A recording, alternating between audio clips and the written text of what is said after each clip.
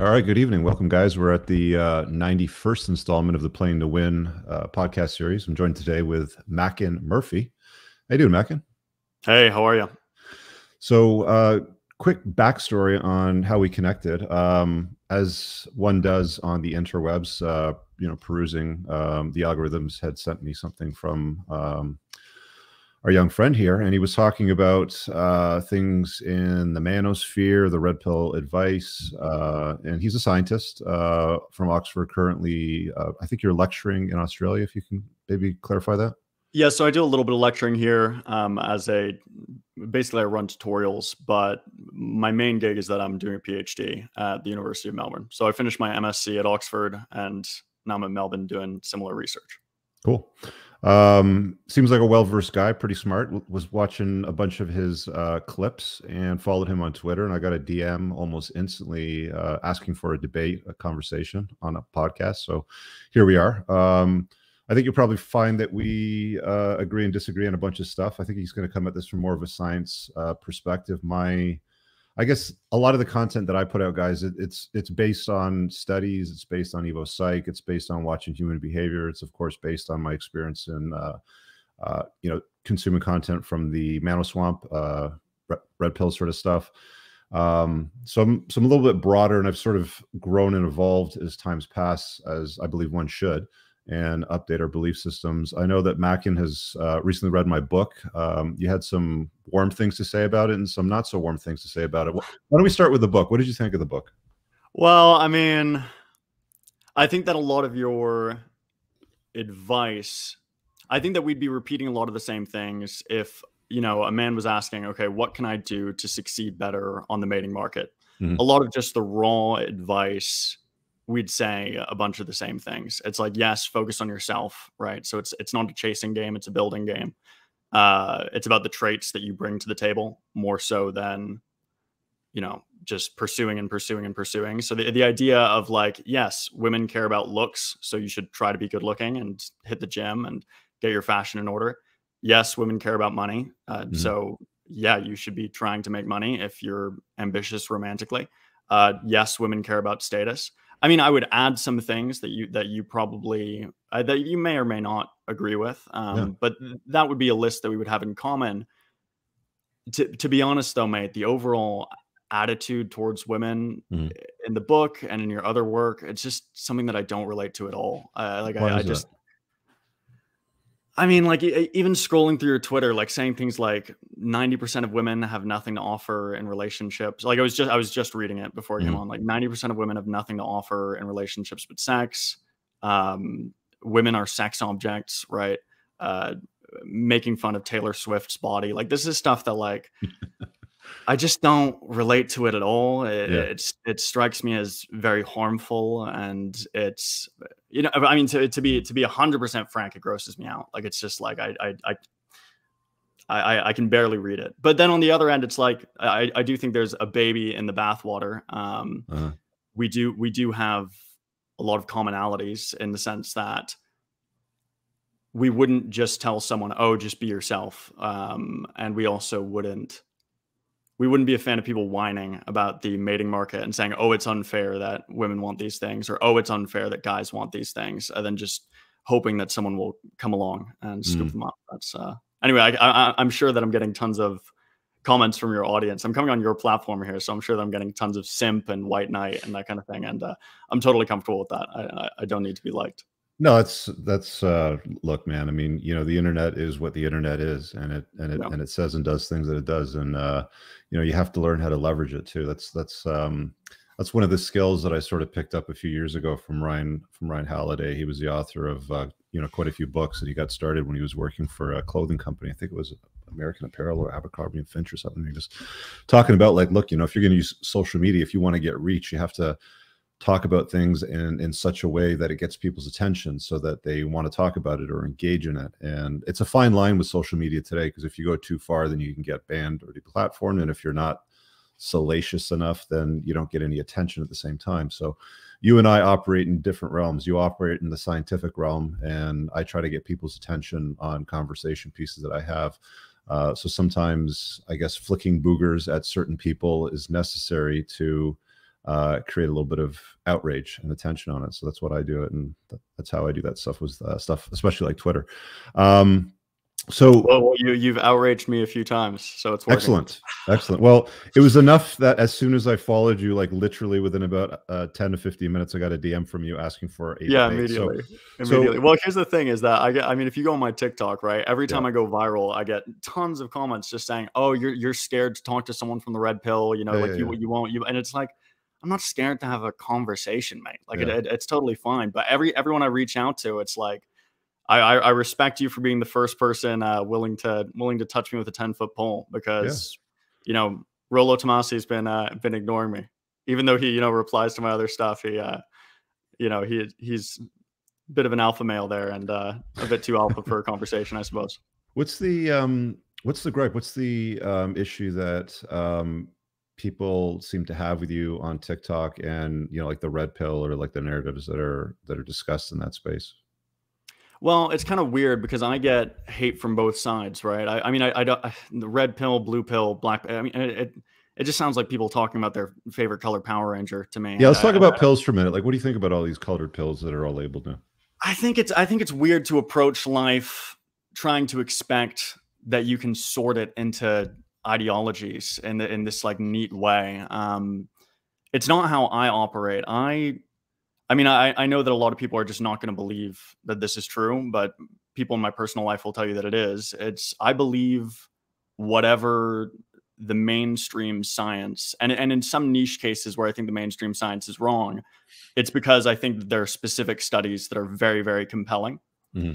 And and that leads me to disagree with a lot of mainstream red pill points. Mm-hmm. It leads me to have kind of a nuanced take on certain ones it leads me to outright agree with some, right? Like if we were talking, like if I, if I was talking to someone who's, you know, thoroughly blue pilled, if that's even a thing, mm. um, they would tell me, oh, you know, just uh, again, what we were talking about, like, oh, just be yourself, right? Mm. Or oh, looks don't matter, right? Or oh, it's just it's just a stereotype that money is attractive, right? Mm. Like th- th- this is just nonsense. There, there's there's decades of research showing that that's not true. And then, you know, there, there there's some people, most of my comments are people misinterpreting me as someone who's just I mean, it depends on what I'm going viral for. I mean, sometimes people are, you know, calling me an incel and saying that I'm black pilled, and it's like, all right, I'm not an incel, and I'm, I'm, I'm hardly black pilled. I just think that the data is in and looks matter, right? And, and and, sometimes it's people saying that I'm that I'm a you know a simp and a cuck um, because I don't believe that I don't know that what would be a good example of like a non-red pill belief I have that that I that I believe that body count matters for men as much as women, or that I believe that in terms of dating prospects, it's it's actually quite uncommon for a woman to mess up her dating life by having too much, uh, you know, sexual encounters. In practice, it's like that doesn't seem to be that much of a hurdle. Or, or mm. I wouldn't believe that, say, I, I, wouldn't believe in something like the wall, like this idea that this like overnight. I, I, mean, we can get into all the the detailed things. I think. Uh, yeah, I, I saw that you you sort of define the wall as more of a slope than a definite smash into a hard object that stops their prospects. Yeah, I mean, it would be weird if it was a. Uh, I mean, it's like that's not that's not how aging mm-hmm. works. It's like yes, over time, romantic prospects in terms of your mate value over time that declines in men, it starts to decline at a significantly later point than it does in women, mm. but it declines in both cases, right? Um, like Rich, I'm sure you know that you probably had more options when you were 40 than you do now, right? Um, like I, I, I don't think that's something you disagree with. You're actually one of the more, frankly, I mean, I, I don't want to just argue with you or or discuss things with you as if you're just a representative for the entire red pill, right? Uh, some of well, I mean, we take... talked about this in DMs, so we can clarify. So yeah. you're asking about that, and you know, I am what I would consider red pilled, but yeah. I am not identifying with any pill in particular. I have become frustrated and exhausted with the notion of of pills because people invent new pills to uh, label whatever belief they want to broadcast or sell to you, especially on you know social media and YouTube. So if the so if the red pill isn't your thing, then you conjure up a white pill or a purple one or an orange one or you know something like this to brand and market whatever it is that you're selling. To me, it's it's simply you know what is truth and what is lies, right? And interpretation of truth for me, because I'm a little bit older and have some more experience, I, you know, I look at human behavior. I look at what I've read in Evo Psych, and I've probably read close to as much as you have. Um, not to the same degree. I haven't studied, I haven't researched, I haven't put out papers like you have, obviously. And I've I've I've summarized a lot of my thoughts in a a book um, and in content that I've put out. But I don't really like the whole, you know, let's be red pilled or or you're blue pilled, or if they disagree. Like I've seen people in the Mano Swamp call guys like David Buss uh, blue pilled, and I don't think he's blue pilled. I think he's a scientist that's researched some uh, great, you know, put some good work together and put out some very informative and useful books. And um, you know, to call somebody that's that's put out useful information blue pill almost seems like it's disparaging at this point. Um, so I don't like the whole pill label labeling stuff. I think it's you know what is actually working and what's useful that you can apply to your life, and what is just you know comforting lies to sort of satiate you to happy wife, happy life. You know your way through a marriage, you know, sort of thing would be a very simple example to sort of put out there. Um, what do you think of the notion of that statement, something like happy wife, happy life? Like, how does that sit with you? well, I've never been married, uh, so but happy wife, happy life as a statement.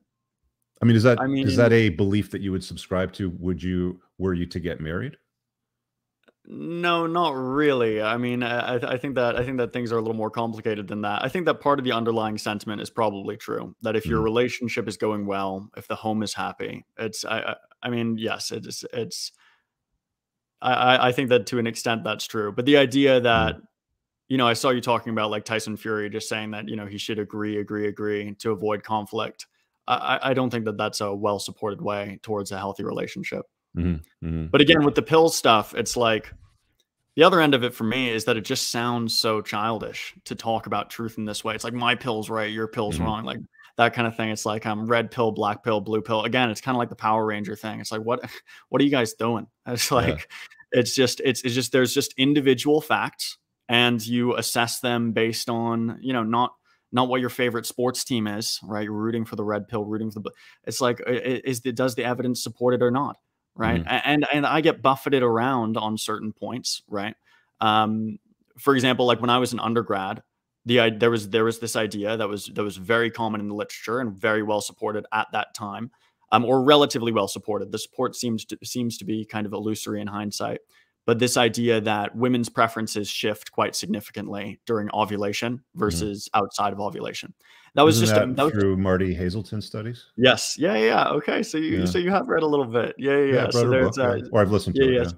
Yeah, yeah. So Martie Haselton and also you know Steve Gangestad, um, a little bit of Randy Thornhill. Uh, yeah, yeah, I mean, I could, I could, li- I could list authors. It wouldn't, mm. it wouldn't really matter. But the point is that there's this huge body of research basically suggesting that women's preferences shift dramatically at ovulation or they shift quite significantly. Mm-hmm. And then, you know, there was some repl and, and, so that was just that was just what I believed because that's where the studies were, right? Mm-hmm.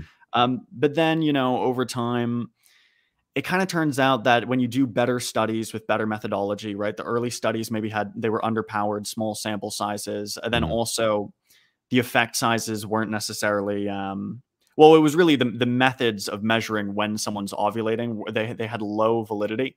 Uh, so it was like having women count from their latest period, right? Mm-hmm. Which, which isn't the best method. And when you do newer methods with larger samples, sometimes there's an effect, but when there is an effect, it's small. So mm-hmm. that's a great example of like, for me, it's just, okay, what does the current best evidence we have show? And so it's like, if you asked me when I was 19, 20, right? okay, what what's what's the evidence on ovulation shifts? I would say it's looking pretty good, right? And then you ask me now, right, um, several years later, and it's like, all right, I mean, uh, the, the the best replication attempts haven't seemed to work very well. The biggest meta analyses are are you know they're they're competing. There there are some that say there's a small effect and some that, that say there's no effect. But overall, you know, my opinion's changed. So that's really where I come at things. It's not it's not just what what you because you know red pill would say oh ovulation studies they rock they're awesome they're true right mm-hmm. it's like okay blue pill guys would say oh you know the ovulate oh, it's a myth da da da da da and it's like oh it's, it's not really a myth uh, that's that's not a good word for something that science has been investigating mm-hmm. but i would just say okay what where's the best evidence right now and then that's mm-hmm. my opinion see the the um see the problem that i've come to realize with scientific research as guys like you um, use them is that it it relies on a lot of the times there are surveys, right? So a real good example was um, you know Alexander uh, from DatePsych. Um, yes. I had him on my channel at one point, and we were talking about his research on top deal breakers in dating. Yep. Um, and as we were going through uh, women's deal breakers and men's deal breakers, I came to realize there's there's like 25 or 30 deal breakers that women would list when you know he surveyed them. But do you know what was missing that was obvious to me? Oh, it's the behavior. I mean, uh, uh, right. No, I mean, no, I, I, no, no it's uh, height. It's height because oh, they didn't say height.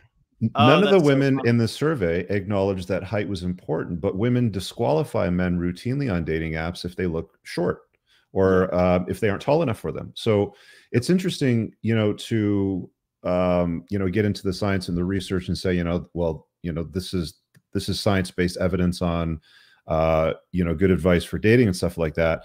But when you ask somebody for their opinion or to take a survey or you know however it's presented to them uh, like maybe you need a lie detector attached at the same time when you're asking them the question yeah. sort of thing yeah, yeah. you know what i mean that's not even yeah so i, I can like it can be flawed yeah yeah so for me survey data generally isn't good enough to believe something right mm-hmm. so I'll, I'll, I'll give you i'll give you a very similar example of this so you have to when i am assessing whether something's true ideally and sometimes the evidence just isn't there sometimes it is it's like okay we've, we've got survey data and nothing else. So it's like it's between survey data and like personal experience. And okay, maybe we need to do more research here. But when it's good, right? We get survey data, but we combine it with behavioral data and then also stuff that's kind of in between. So, for example, with the height thing, right? You could look at what height filters do women set on dating apps, right? It's kind of in between. It's not quite behavioral. I guess you could say setting a filter is a behavior, but it is a self report of their preference, but it's a mm-hmm. self report in a higher stakes context. So it's more persuasive. A good example of this would be if you ask people, and this is true for men and women, right? If you ask people, okay, what do you want in a mate? They're going to tell you, "Oh, I want someone honest. I want someone loyal. I want someone kind." Right? Mm-hmm. And and they probably do want those things, right? Those are those are the those are the top three and uh, you know top four types of traits. Usually, the top five are all these like personal qualities that are quite important.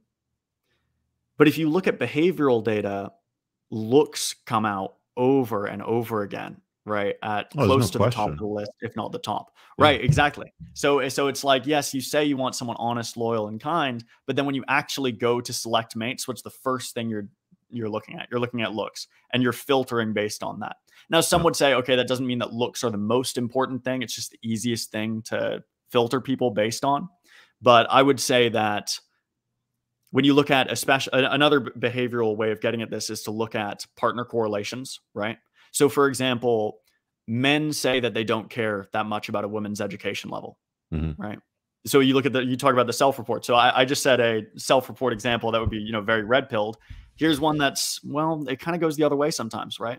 Mm-hmm. Men say they don't really care about a woman's education level, but then you look in practice, and almost every college educated man is only dating women who are also college educated right? Correct. Yeah. The, the, so the the I actually had a um I actually had a gal on my uh, ladies' night podcast the other night, and she's in the San Francisco Bay Area, and she was telling us that she was disqualified almost routinely sometimes by guys that were higher income earners because she didn't have a degree and didn't earn enough money. Yes, exactly. So, so uh, a lot of these red pill guys, right? They'll say, "Oh, it's not just you know, survey data isn't real. Survey data isn't real." And it's like, okay, let's look at some behavioral data. Yeah, you, mm-hmm. you guys are right. Looks matter a lot more than women say, right? Mm-hmm. But education, status, money, in practice, men say men say they don't care about these things when you ask them on a survey, but then in practice, men are dating roughly in their own income, especially in the West, right? And this this really is Western data. Um, roughly in their own income range, right? Definitely in their own class range, if you were to stratify the sexes um, based on, you know, normal variation in how the sexes earn. Mm. And then also definitely in their education range. We don't see these big mismatches. So mm. yes, I completely agree. It also it also Survey depends on on who you're going to ask to and where they're at in their stage of life. Like if you're talking to an older, more seasoned gentleman that's that's got his money sorted, he probably doesn't really care that much about her education and a degree on the wall and more about youth and beauty and potentially if he wants a family and children fertility right so um, these things all seem to be moving targets in my estimation is that something that you would agree with or disagree with I think you'd be surprised, mate. I believe it's true for you, right? Mm-hmm. And I mm-hmm. think that as when we're putting on, when we're trying to be critical thinkers, right, we have to step outside of our own preferences and our own experience, right? Because I would have some bias biases based on what I. There are times when I, you know, open up a study and I'm like, well, I, you know, I really care about this thing, mm-hmm. and then mm-hmm. I realize, oh, it seems like actually overall this isn't something that's super important to other men, and vice versa Mm. I would say that most men who are educated, whether they say it or not, in their behavior, they exhibit a preference towards other educated, um, towards other educated individuals. And part of this, it might not, it might not come out as a direct effect. You, you have to keep in mind that it's like, if you're, uh, as you say, like like a guy who's got his money together, educated, that sort of thing, you're probably a pretty smart guy, right? Uh, just just probably. Mm-hmm. Very few people get rich by accident right? There, yeah. There's some people who get get it through inheritance, that kind of thing. But usually it's like, okay, you've been solving complicated problems at a high level for decades, and that's why you have money. That type of guy in practice, you know, in in his speech, he might say, "Oh, I don't care about our education level. I don't care about how smart he is. Da da da da. I just want someone young and beautiful." And then it's like in practice, you know, you're on the second date and you're bored because you guys can't talk about anything. Um, so I, I think a lot of these guys they they say they don't care about it, but they do. We don't see huge IQ mismatches in dating typically. We don't mm-hmm. see huge um, salary gaps in dating typically. Um, although you know this is when you're correcting for already the differences in wage gap, um, the differences in wages between the sexes. I apologize. And then also we don't see these huge gaps in education. Generally, people mate quite assortively on that. Even though it's it's if it, if it's going to go up in one direction, yeah, it's generally the women dating up. Would you? Uh, I mean, I would, I would look at that uh, and you know essentially respond with the vast majority of the population out there when they approach relationships and dating and uh, long-term type of engagements. Um, they generally subscribe to society's um, narratives, right? And we've generally been told throughout our lives, I mean, mine anyway. I'm, I'm again, you know, a bit older that um, you know you want to find somebody who's your equal you know who you can stand beside who you can uh, build something with together um, not find somebody that's i mean they certainly tell women i mean they don't even need to tell women this this is almost in their dna because they're hypergamous and they always look for somebody that's at least at the same socioeconomic status Actually, let's talk about hypergamy before we keep going. Yeah, we can you, get, we can get a little we can get a little me- you, a little messy there as well. Yeah. Do you agree or disagree with the godfather of the manosphere with his assessment of hypergamy? And uh, I think we've heard Jordan Peterson sort of co-sign it as well too. Like, is there any disagreement that you have with the notion of hypergamy? Well, I'm I'm part of one of the only evolutionary psychology labs that uh, uh, that ever even considers hypergamy or looks mm-hmm. into it. It's okay. definitely, I would say that there is a phenomenon there, but you have to be more precise with your terms, right? No, I'm not saying you specifically. I'm yeah, saying okay. that red pill folks, they kind of they kind of gerrymander hypergamy around whatever dating situation uh, they like, right? What so like, mean? Uh, so uh, uh, you know the term gerrymander and the oh, uh, well, it might, be, it might be kind of a niche United States term, but it's when politicians redraw the maps okay. so that way the votes are skewed um, okay. towards their. So it's like it's like an ex post fact. I'm saying that ex post facto, right after the fact, they're reconfiguring the situation so hypergamy explains it. Okay, so, so shoot the arrow and then draw the target around where it lands. That's a much better way of saying it. Thank okay. you for thank you for helping me out with my analogy there. This is what I do, my friend. Yeah, no, I appreciate it. Yeah. So the so look. Yes, um, I would say that there there are there are several ways in which um, women seems to aim up um, more than men, right? Mm-hmm. So, for example, I mean, I remember Helen Fisher, who, who's really the world's most cited expert on romantic love. She, or or or certainly the the one that that's talked about the most. I don't know if she's officially most cited, but she says that uh, women are looking for Mr. Perfect and uh, men are looking for Mrs. Good Enough, right? Now, whether whether that's whether that's hypergamy or not, what we see is that women are generally much pickier, right? They generally have higher standards, and mm-hmm. this is something that we see across for long-term uh, dating, or is that for short-term dating, or both? Well, short-term as well, right? So one thing that's quite interesting, and in, I, I'm sure you know this, men lower their standards for short-term mating, whereas mm-hmm. women keep them the same or higher, depending on the trait right? So if you look at looks, right, just physical attractiveness.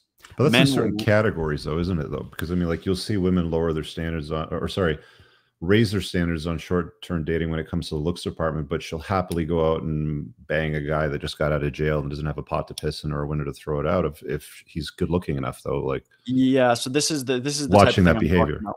This is the type type of thing I'm talking about with the hypergamy thing. Is mm-hmm. that when a woman dates a hot guy who doesn't have his life together, that's hypergamy.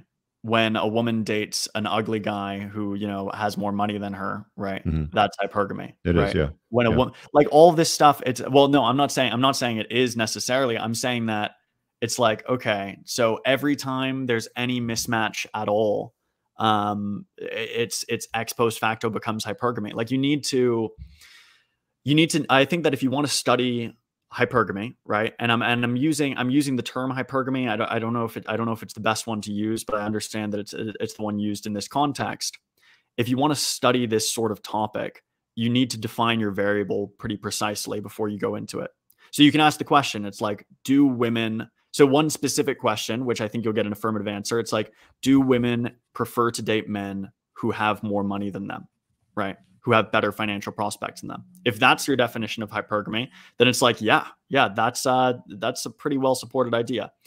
If you look at looks, right now it gets more complicated because just from behavioral data, it seems that women are willing to loosen up their standards on looks a lot more than men, um, certainly for long term dating. For short term dating, men and women are more similar in the sense that we both aim for like the best looking person possible. But the difference is that men are willing to drop their standards in a way that women aren't. So I think that hypergamy is uh, one issue that I have with the red pill is that it's like, look, we can talk about that. We can have a conversation about mm-hmm. the idea that women are more selective and have a preference to date up um, on social hierarchies, right? Um, we can talk about that and, and discuss the evidence for and against it. But we can't just say hypergamy for every dating situation ever, right? Because it's like if it's hypergamy when the guy's better looking, but she's making more money, but it's also hypergamy when she's better looking and he's making more money, then it's it's. do you know what I'm saying? Like it's yeah, like, no, uh, I every, I fully agree, and I yeah, there are absolutely outliers. I mean, I've had conversations with lots of people where it's like you know you sort of dive down the rabbit hole of um, you know dating and hypergamy and how uh, men and women prioritize uh, mates, and you'll always have that random uh, you know gal pop out and she'll be like, but wait, that doesn't apply to me because I'm a lawyer making three hundred thousand dollars a year, and my husband's a stay at home dad, and you know he doesn't even work, and uh, you know like you'll always get those in any sampling. I'm well, okay. I, so I, I've spoken unclearly. I am not saying, I'm not pointing to exceptions to prove the, that's not how that's not how I that's not how I even think about topics. I too think about averages, right? I would never yeah. if if there's an average trend, right? Like I've said in this conversation, that the average person cares about looks before almost anything else when they're dating. Yeah. I'm not going to point to my buddy. I'm not going to point to my buddy and say, "Oh, he doesn't care about looks when he's dating, therefore it's not true." That's not that's not how averages work. On the hypergamy point, I was I was, I was making I was making a very specific point, which is that if it's hypergamy, right? Hypergamy, when a woman dates a guy who's better looking than her but makes less money. But it's also hypergamy when a woman dates a guy who makes more money but is worse looking than her, right? Then we could flip the situation with the same evidence, right?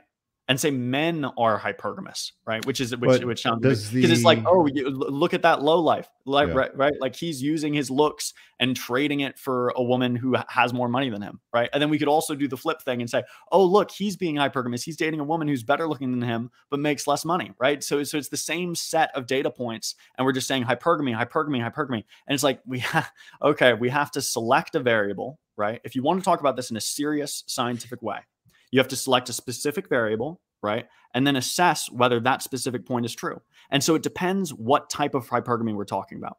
If we're talking very specifically about money, then I agree. It's like, yes, women generally exhibit a preference for men who are making more money than themselves. Mm. And they have a, a high preference for that. Yeah, I think this is where you see things slightly differently because I mean, um, you know, to me, you know, exception to rule doesn't disprove the rule; it's just an outlier. And I think, you know, on a balance of probabilities, if the vast majority of women, uh, uh okay, so here's a really good example. So no, but I'm not saying I may, I'm not saying the exception to the rule thing. I, I, I, I just clarified that I'm not saying that. No, no, but just hear me out for a second. So as an example, like if I were to state that that that women are are hypergamous and they tend to marry and date across on a social economic scale yeah, I've read research papers. Yes, I've read, you know, some Evo Psych and, you know, followed some useful content, but I've also been a private lender for a number of years too. And as a private lender, I have to look at credit applications and on the credit applications, it has their job and it has what their income is. And I've seen the vast majority of cases when people are applying for uh, financing, private mortgage, you know, whatever it happens to be, uh, Mr. almost always makes a lot more money than Mrs right? But wait, I, I I don't understand. Uh, do, uh, do you think I I you're not disagreeing with me? I just but, said that. No, I'm agreeing. But what. I'm saying is like in the context of hypergamy, and I think you know one of the things that we wanted to talk about in this podcast as well is the disagreements, you know, with the red pill and the mano swamp, is that um I think it's more of like a broad statement where it's just, you know, women are generally hypergamous, right? And this is what I've seen as far as behavior. This is what I've seen as far as um, you know, reading papers and stuff like that. But then it gets nuanced, right? Because women's uh, preferences will change uh, depending on what their mate value is, what they look like, how old they are, perhaps even where they are in their ovulatory shift, you know, as Martie Haselton talks about. So there's a number of variables that you can really dive down a whole bunch of rabbit holes and get super geeky on. And that's not what I do. It because to me, that gets boring as shit. I mean, people will podcast on that for five or six hours. Like, dude, we get it, right? Like, you know, like let's just get back to the basics here and get on with life. So, uh, like, that's how I approach it. But I understand that there are a lot of potential variables and rabbit holes where you could examine it from different perspectives and angles. Well, do you right? understand? Do you understand my gripe is with the, is with what you just said, which is that like, oh, hypergamy as a general term, hypergamy as a general phenomenon, and I'm like, okay, well, empirically, that's not good enough. Mm-hmm. We need to define the term and then assess its truth based on that sp- the specific variable. So you could say, but women I mean, you're have, more of a like if you were if you were to, right? if you were to say like if you were to say if you were to say if you were to say very specifically with regards to fi- uh, with regards to finances, women are generally hypergamous, right? They want to date someone who makes more money right. than themselves. I would say yes, right? Um, but a lot of the red pill guys, right? They put everything to hypergamy. So when a woman dates a guy who's, uh, you know, like you said, you mm. you you mentioned the the kind of anecdotal idea of like a guy who's a hot criminal, right? You labeled that as hypergamy as well, and it's like, eh, is it? It's like now we're talking about a different type of thing. We're talking about well, you know women's short term short, women's increased yeah. short term preferences for looks, which is exactly. not that doesn't really fit with the hypergamy story, and uh, that's what annoys me about a lot of these you know red pill twerps is just talking about like oh well, everything's hypergamy, everything's hypergamy, made, though, everything. No, it's not. A, it's not. I'm not saying that it disproves the hypergamy point that we mm-hmm. just talked about with money. I'm saying that it that a lot of the red pill guys they label that as hypergamy as well, and that doesn't. So, fit. so let me uh, present this option to you. Uh, you know, a woman's at a bar. She has ten men to select from. Uh, some of them are successful, some are not. One guy just got out of jail. He looks like a total Chad. He's a 10 out of 10. He's a good looking guy. He looks like you. He's got the hunter eyes, right? And oh, stop it. But but he hasn't got a pot to piss in or a window to throw it out of, and yeah. he's sleeping on his sister's couch. She may prioritize him over the other options that night just because he's the best looking guy as far as options go. Yes. Yeah. Yeah, that's so, that's absolutely correct. Yes. Yeah. So I mean, so let's just go back to the beef with the whole like red pill and mano swamp and the dating coaches and the pickup artists and all that stuff. So what are the what are the biggest um mistakes or maybe the uh, awful pieces of advice or pieces that you see out there over and over again that seem to frustrate you? Because i know there's there's quite a few right? That just don't yeah there's there's quite a, there's quite a few there's quite a few. I mean most of my beef actually to be honest mate a lot of my beef isn't with specific pieces of advice per se. Mm-hmm. it's specific elements of the worldview so okay. hypergamy is an example of that, where it's like, okay, you're talking hypergamy, hypergamy, hypergamy, and then the situation that you just described in the bar where it's like, okay, so she chose the guy who's lowest status, least amount of money, right? Lower status than her, lower education level than her Yeah. because he's good looking. And it's Yeah. like, yeah, looks for short-term mating, looks really matter. And that's not, I mean, some of these some of these guys, they'll be like, oh, that's the that's the other side to hypergamy. And it's like, okay, everything's hypergamy, right? Everything's hypergamy. Congratulations. You can never Mhm. be wrong because because you've already determined that everything's hypergamy, right? Right. I mean, it's just like it's just a, it's just a it's just a very simple-minded way, way of viewing the world. You have to pick. Yeah, I think that. um, yeah, I think you're right about that. yeah. Yeah, I think you're right Yeah. about that. There are a lot of guys that take shit and they sort of run with it in a context just to sort of like reaffirm their ego investments in their life, their life choices, in some case failures, right? Um, you Yeah. know, they use it to sort of, you know, dismiss, you know, where they are. And I think when I approach um, you know, the conversations and the videos that I make and the podcasts that I do, it's like, look, guys, like if I was sitting here talking to a room full of men, don't be a loser. Chase excellence, don't chase women be good looking don't be fat have some style you know get a proper haircut if you're losing your hair don't hold on to scraps shave it off like you know like the standard sort of things because it's like you're not going to do all these things for women's attention or to capture them or to you know like rack up a notch count like one of the things that frustrates the hell out of me when i was in the Mano Swamp is is these dipshits that just go on and on about their notch count. They'll actually like have a number and they'll know what it is, and it's like, dude, like you know, do you count the number of dumps that you take as well too? Like, what else do you count? Right? It's Yeah. it's you know, it's an obsession with something that seems almost like it's absurd. And there's more to life than just racking up notches and chasing tail, in my opinion. But at the same time, I want guys to understand. Look, women are going to prioritize. Uh, you know, if you're out at a bar and you want to hook up for short-term dating, the best-looking guy. Like, it doesn't matter that he took the bus there and has tattoos on his face and his neck she might be a recent you know divorcee who's 39 with three kids and they're at her mom's and she's horny and she wants to get it on. She's going to pick him. It doesn't matter right? Like I like I like that you I like that you uh, added face and neck after that to avoid hurting my feelings. I appreciate it. well i wasn't I even thinking about the tattoos you have on your arms but yes Yeah, yeah. okay. But uh, yeah you know to the point of you know the bad boy look but it, it it's to me more like i like to simplify things in a realm where it's like just understand that this is kind of what hypergamy is and why it matters don't worry about the science and the data let Macken deal with that you know he'll do the research and the lectures and the you know the papers and the podcast and that sort of stuff but like the reason why I think you know the Mano Swamp sort of you know distills it down to alpha seed, beta need, or you know however else they want to label it is it just simplifies it for guys that just don't understand the basics. You see what I'm saying? Yeah, I know. I I I I, under, I understand what's going on. I think I think that. So here's my main. Here are my main beefs with the red pill, and then you can decide where we want to take it. Mhm. Um, first off, a lot of it just seems. It doesn't seem. A lot of it is sexist and bitter, right? It's it's psychologizing women. As an and- example, like what would be sexist and bitter? Okay, so so f- for example, um, well, we I mean we could we could t- we could take some of the things that I mentioned at the outside uh, outside of the conversation. Yeah, like when. I go on your Twitter Whatever and see things like like 90 percent of women have nothing to offer in relationships other than sex. Hmm. I'm like, what an what an what a like I, th- You I know where think that about came my from? That actually came from a stand-up comedy routine. A lot of my material comes from stand-up comedy. yeah. sort of Well, you know, it you know, to mate, get- To get your attention on it, because truthfully, though, yeah. Well, to me, to me, it's not that- funny, is and it's that- also and is that really sexist though? Is that really sexist to say that if say- if a What- man oh. isn't chasing excellence in his life and doing something of some significance, she probably won't stick around. Because I mean, at the end of the okay, day, the, that's clock- not that's the no, clock no, no. Does tick I- down to the end of the relationship, right? If if he gets lazy, incompetent, he can't hold a job, he can't provide for the family. I've routinely seen women leave men in you know situations like that. So that's what that really boils down to. And at the same time, the sex she's not having, saying that saying that 90% of women have nothing to offer in relationships other than sex. I, no, if that's, that's not, not, what it says. No, that's not what it says. All right, let's pull it up. Pull it up. You can uh, sh- you can actually share it on the screen if you want to hit the present button. I think you'll be able to uh, plop No, it up it's- on the bottom screen there. Um, but I mean, like that is actually from um, Dr. Warren Farrell. Uh, you know, he came to the conclusion in his books and his studies that men are success objects to women and women are sex objects to men. Do you Yeah, that's not how I agree with that or disagree I- with that? That's I disagree with that.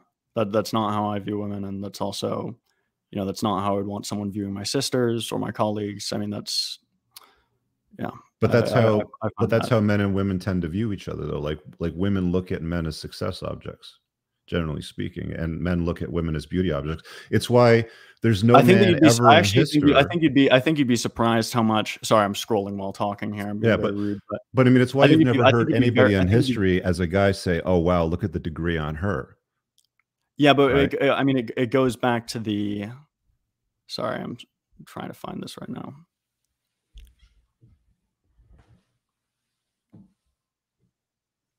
Okay. Remove sex from a relationship, you will discover that 90% of women have nothing to offer men in relationships. Mhm. That Salacious to- statement. It's it's it's amplified to get your attention, but if you Yeah, but, if but, you but take away cost, that, mate? At what cost, mate? Like, think about like, I don't know. I mean, I, I, I definitely don't want. I don't want. I don't want to make that. I don't want to make this, you know, I- like a personal beef. Like, I, I want to have an. I want to have an actual discussion. yeah, yeah, yeah. That's but surely, I mean, like, like you've got a daughter, mate. Like, surely you Yeah. wouldn't like. I would I, guess would it- absolutely tell my daughter to prioritize her beauty and her purity over getting degrees. Yeah, absolutely. Yeah, I wouldn't want her we- getting obese, cutting her hair short, dyeing it purple, fighting the patriarchy, like none of that woke nonsense. Absolutely not. Is that what you want your daughter doing? I've uh, uh, that's that, that's not what I said at all. Uh, I'm saying I'm saying that when I when I read through when I just scroll through your Twitter, right, or Mhm. look at any and I and I, I don't want to make this I don't want to make this narrowly about you. When I go on all, any of these you know red pill pages, I see a I've got bunch thick skin, so like if you that. want to make it about me, it's totally fine. No, no, no. I know you do. I know you do. I know you do. And I actually do appreciate that. I recognize that, you know, Rollo Tomassi would never have me on his show, right? And the fresh and fit, they wouldn't have me on their show, that kind of thing.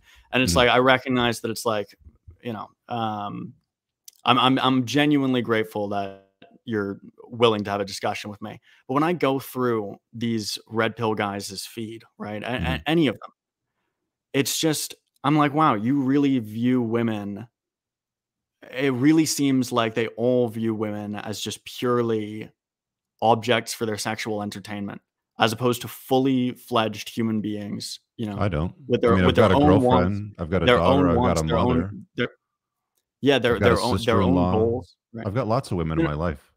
Yeah i know you do and that's why i So find how it can I surprising possibly hate women or be? i didn't i didn't say you hate i didn't say you hate women i said Or, that a sorry, um, would you call it uh, sexist? Sexist was what you yeah called it. it's like to me it's like I, if this isn't sexist i don't know what is and i don't don't want this to devolve into i don't i also don't want this to devolve into just name calling right that doesn't seem like a productive use of our time but if you're asking me what my issue with the red pill is it's like Mhm. that's one of the core issues. It's like this attitude towards women that seems to view them purely as objects for sex as opposed to again fully fledged human be- and i know that all, all the comments are going to be white knight simp cuck i don't care it's fine. It's like surely like and and you said yourself you know you, you got a sister-in-law you got a mother you got a daughter you got a girlfriend right? Surely they're more to you than that so much more like the, the yeah, human being and and they absolutely are, Macken, but they would never call me sexist, right? Like, the, Well, I know they, they may wouldn't. I mean, like the way in which I present certain certain uh, information because I mean, keep in mind, like, Twitter is microblogging, right? It, it's it's very short stuff, and, right and i recognize that twitter twitter often brings out the worst in people and and, and in Yeah. truth you know in in reading in reading your book and watching your video and watching your videos there there are some attitudes i disagree with but it does seem that uh it does seem that twitter has managed to Yeah, to, okay. to take out the, the most the most uh but I'm but I'm trying to understand how you know stating that men are success objects to women and women are beauty objects to men is a sexist statement. I don't think I I think that you would agree you that men and women are objects, different. you Yeah, said sex objects but sex yeah, but objects, fine. beauty objects. Yeah. Yeah. but I mean, like I think that you would agree that men and women are different in many ways than they are in probably just as many ways as they are similar, if not more. Yeah. yeah i mean it's pretty obvious that there are that there are psychological sex differences So Yeah, why would it be sexist to view the behavior of men's mate choices as men looking at women as beauty objects? Because I think we're doing a disservice when we tell women to go and climb the corporate ladder and chase excellence. Because here's here's what I see that that that is that is a complete disservice to to women. And I'm starting to talk to more and more women. I've already had conversations with hundreds of them, but I want to move this into the thousands so that it so that it starts to corroborate a little bit more. But I'm starting. I think if you women, want to if you want to move it if you want to move it into the thousands, you're gonna have to focus a little less on being salacious on Twitter and more on you know. Well, well, we'll see how that goes. I have a new podcast I'm doing Monday nights called uh, Ladies Night. So um, okay. make sure Best you guys follow the Unplugged Alpha podcast. But what I'm starting to see is is a lot of women that are that are basically like I'm 37, 38, 39, 40. Um, I feel like I've missed the boat. I've I've done what I was told. You know, I got the degrees, I climbed the corporate ladder, I bought the house, I have the Mercedes C class, I framed my degrees in mahogany and put them on the wall and presented them to everybody. I have my little white dog, I have 17 pillows on my bed and a beautifully decorated and organized house. But where is my man? Where like why can't I find this guy? Yeah. And yeah, that's that, a real problem. Yeah, I mean, I look, we, women have been lied yeah. to and they've been told to basically go and become men because everything that they've done to get to this point where they now don't have families and they feel like they're missing the boat and they're unable to uh, basically meet that strong burning biological need to reproduce. You know the biological clock is you know the the eggs are starting to dry up you know if you will. Um, they feel like they've been let down and i'm starting to see a lot of women that have complaints about that. And it's like you know i kind of wish i didn't do this now. I kind of wish that i prioritize finding a good guy and settling down early and having that family rather than do all this stuff because it's not fulfilling. Yeah, I mean that's that's that? a very that that's that's a very different because that's now taking science and setting that aside. That's like now dealing with a human being, right? Yeah, yeah, I, I understand. Where, I understand where you're getting at. I guess, I guess we'll just put a pin in my issues with you know some of some the the bitterness and vibe and we can talk about i mean i, I view this as a separate conversation I, th- mm-hmm. I think that you're you're viewing it as an integrated one mm-hmm. whereas it's like we can talk about you know women's mating strategies what's effective what's not right and and it is a real problem this idea of like oh you focus on your career focus on your career focus on your career and it's like oh you know now i'm 38 and all my friends are married and I focused on my career too long and now I want to have a family, but now I've got to find a guy. How long does that take? I've got to vet the guy. How long right. does that take? Yeah. Right. I've got to actually go through the process of reproducing, which doesn't happen overnight. It's like, yeah, that's a very tough situation because, you know, the process of starting from zero to finding a man, meeting a man, you know, mutually selecting each other and getting pregnant, all of that, that can take, uh, that's, that's typically like a five year process. So, mm-hmm. I appreciate that it's like yes, some people are going to focus on their career towards too le- for too for too long. There are some men in that situation, but you know, for mechanical reasons, it's just less likely for a man to find himself in that situation. Uh, most men are you know still there, there there is you know a decline in genetic quality. There are reasons to have kids younger as a man, um, but yeah. it there, it doesn't. But fertility doesn't hard stop the way it does with women. So I appreciate exactly, that there's yeah. a difference there. Yeah, and there's also the issue with. I think with, it's a real issue, but I but I will just okay. say is that like for me this is a separate conversation topic, mate. Like okay. we can we can talk about that, but we're talking about it very separately from saying things like, "Oh, women are sex objects," right? Well, we could perhaps do a fun, part making, two. You know, we... ma- making making fun of Taylor Swift's body on Twitter. It's like, I used to teach seventh graders, and it's like if they were saying this type of joke, I'd be like, "This is." Guys, guys, like, like we gotta, we gotta uh, be well, fortunately, I'm not your student, and I'm old enough to crack jokes, right? Which I yeah, well, yeah, you're, you're I mean, it does say in my that. Twitter bio that there's going to be a little bit of comedy here in this feed, so yeah, I and mean, you know you what, and, that, and that's the other, that's the other thing is that it could be, it could be, it could be just, it could be just a difference in sense of humor. Mm-hmm. Um, mm. and I appreciate that, you know, there's going to be a spectrum as to what's what's appreciated. I suppose that I suppose that on the other side of things, it's like because it's mixed in with you know very you know very serious statements. Mm-hmm. It, it's just it's just hard for me to see. But uh, but you know I also don't want to. I'm not a fan of taking people out of context. I'm not a fan of you know reading the worst possible version um, into whatever you're saying. Mm-hmm. So it's like if you if you say that you meant when you said you know 90% of women have nothing to offer but sex and relationships if you are saying that that's just a provocative version of saying that men really value physical attractiveness then that then that's that you know no men really that, value sex in a relationship Oh yeah, definitely, definitely. Like that. But but I, I, think, I assumed because you said I think that if you were to ask men, you know, that are getting married, one of the reasons why they select marriage is because they think they're going to have uh, access to wild, crazy sex into perpetuity. And you know that's like one of the conversations that i often have a lot of the times is that you know like you have to understand like when you get into a long-term relationship and there's comfort and you live together and you get married you invite the state in your house like sex is like one of the things that usually goes away or diminishes like there's very few people that are like oh yeah, yeah sex I definitely bang way more we can have as well yeah, yeah, that's um, a conversation we can have as well about sex. I want to go back to the. I do not think. The... I do not think that. I, but just to jump in, I do not okay. think that most men are getting married for wild and crazy sex. I think that's a lot easier. That's okay. a lot easier to get outside. Okay, so let's come back to that in a minute. But I mean, I also want to talk yeah. about the, um, you know, because we're talking about how women are beauty objects and men are success objects. So, in you know, in the statement of that fact, I encourage men to chase excellence because men want women around, right? And if you want to keep a woman around and in your frame and in your life and as a complement to your life you can't be a dipshit right like i i've i've lost count of the conversations that i've had with women uh you know when i was dating after i got divorced where that and i talked about this in my book so i know that you've uh, seen it where it's like you know like why did you guys break up and why did you get divorced and there was a lot of well he was a beta he was incompetent he couldn't hold down a job he couldn't provide for the family and women routinely leave men in long-term relationships and marriages if they see the guy as incompetent and, and not a winner. They want to look up to a giant. Okay. Um, and I think you know that. And that's why I'm telling guys chase excellence, right? Like men are success objects to women. I don't think Dr. Warren Farrell is inaccurate or wrong there. You may disagree with the with the assessment, but I still believe, and you know, like if you've got some evidence that disproves it, that men and women look at each other in this general sense, broadly speaking. There are exceptions, you know. There are. Yeah, I think it's okay. So we'll, well, let's let's get into the nuance of it. So I think that I think that we've spent enough time, and you know, one one of my goals for this show is not to devolve into like I'm, just, I'm, it's just not my personality to be you know on a show uh, like you can tell that i'm that i'm that i'm uncomfortable with with you know having to say that you know I, I actually find this uh, to be harmful as a, as a statement.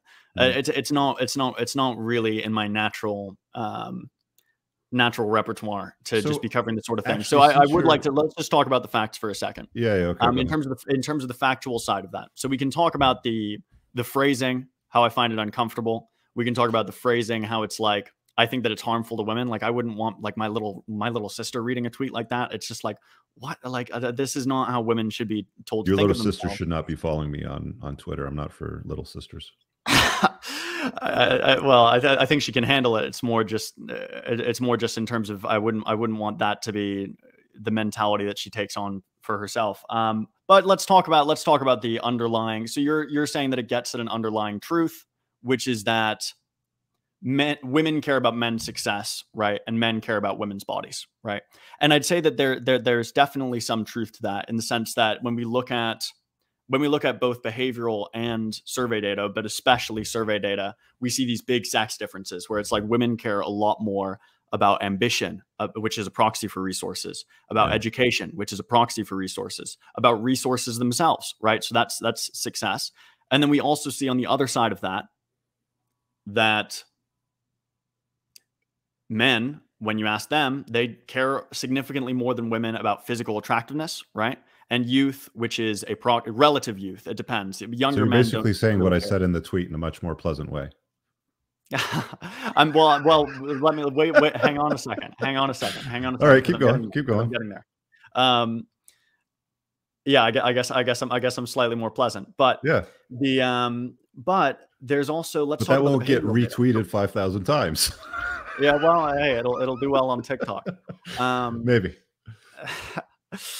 If um, yeah, that, that that's a funny idea of us us saying the same thing, and my following being almost entirely women, and uh, your following being almost entirely men. But do you ever get criticized by your audience for being a misogynist or hating women or a sexist or anything like that? Like, have you ever heard that? Because I mean, there are some no. statements that you've made that I've also said, but I mean, you just say it differently.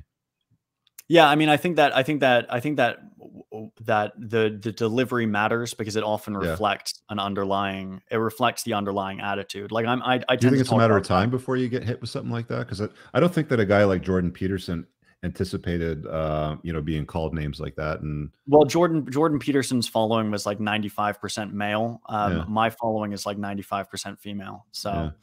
In any case, and I know, I know, I'm gonna get the again. I'm gonna get more. Uh, I, I, I, I can't, I can't see comments right now, but I'm sure it's you know, blue pill, I just Cup, ignore them. You know, ignore that kind yeah. of thing. Well, fair, it's one of whatever. those things. It's like it's like cry harder. Uh, Like it's just every single time I say something like this, I, I get all those comments. But in any case, let you so you let let's wind back to the point, right? Mhm. Those sex differences are based on survey data. And Mhm. earlier in this conversation, we both came to agreement. It's like, hey, survey data not quite enough. Mhm. When you look at behavioral data, it's actually very surprising how much more women care about looks than they say and how much less they care about money and status and resources in practice. I'm not saying that they don't care about it more than men. They absolutely do. But they care about it proportionately less. Than, this is kind of a statistically hard thing to explain. Uh, Mhm. So, so uh, I, I'm I'm 100. Where are you getting this data from? Is this from surveys? I it, no no no no. It's it's it's it's actually a I, th- I believe it's a 2015. I'll be able to send you the study afterwards. Yeah. Um, but uh, I'm I'm not I'm not making this up. Um, it's But I mean, if you're, but if you're getting this data, then I'm assuming that you're asking women what they're choosing men based on. And yeah, yeah yeah. So I'm getting to they're that. So stating that it's it's, actually- not based on finances. no no. or So was- success, so I'm getting to that. So or that to the degree that we data. would expect that it would be. That would be survey data. That would be Mm-hmm. survey data, right? And for the survey data, we do see these large sex differences. Okay. But let's look at the behavioral data because earlier you mentioned it's like, hey, what what people say and what they do, they're Mhm. two different things.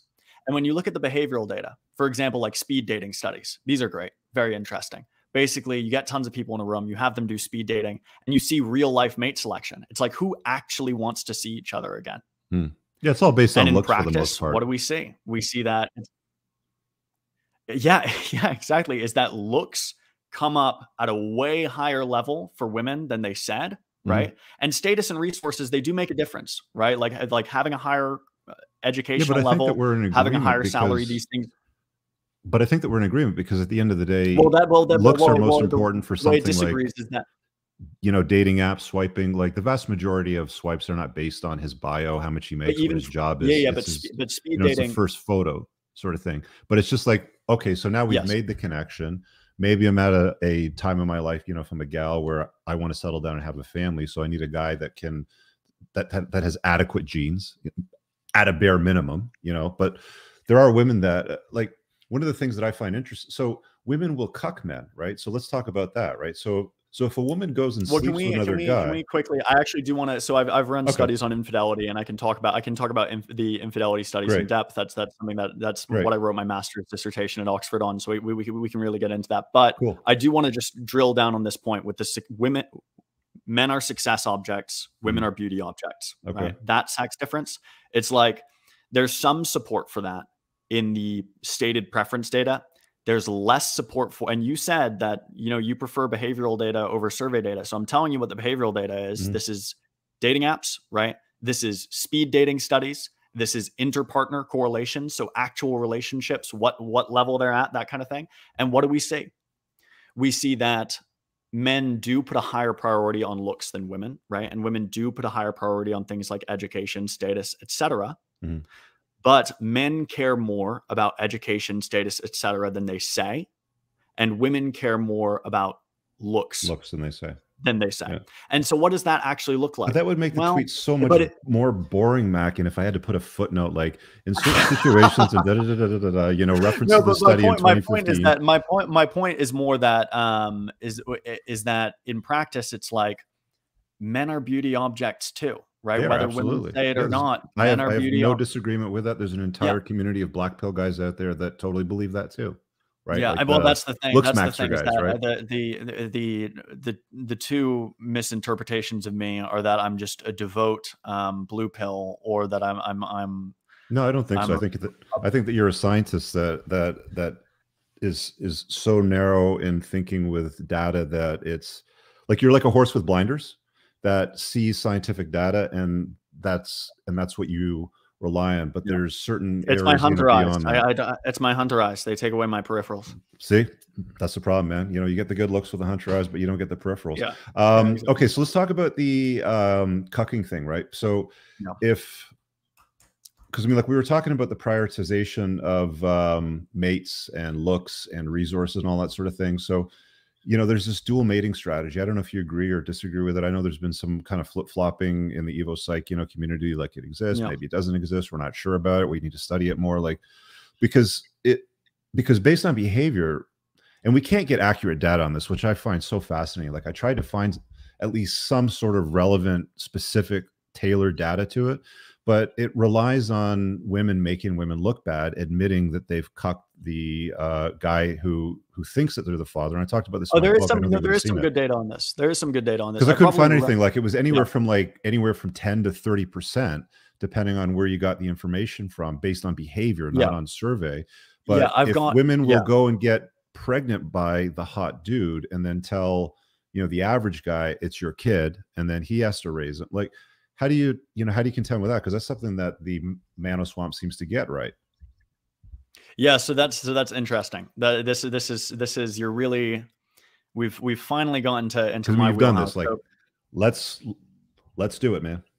Yeah, yeah yeah. So look the female infidelity debate has been a very mm-hmm. complicated, mm. contentious one. Uh, it, it's it's it's quite a confused one at some points. We mentioned the ovulation shift thing earlier, mm-hmm. uh, where it's like, oh, it seems like they're shifting preferences for looks and masculinity at ovulation. And then newer data, it's like, mm, not not so much, right?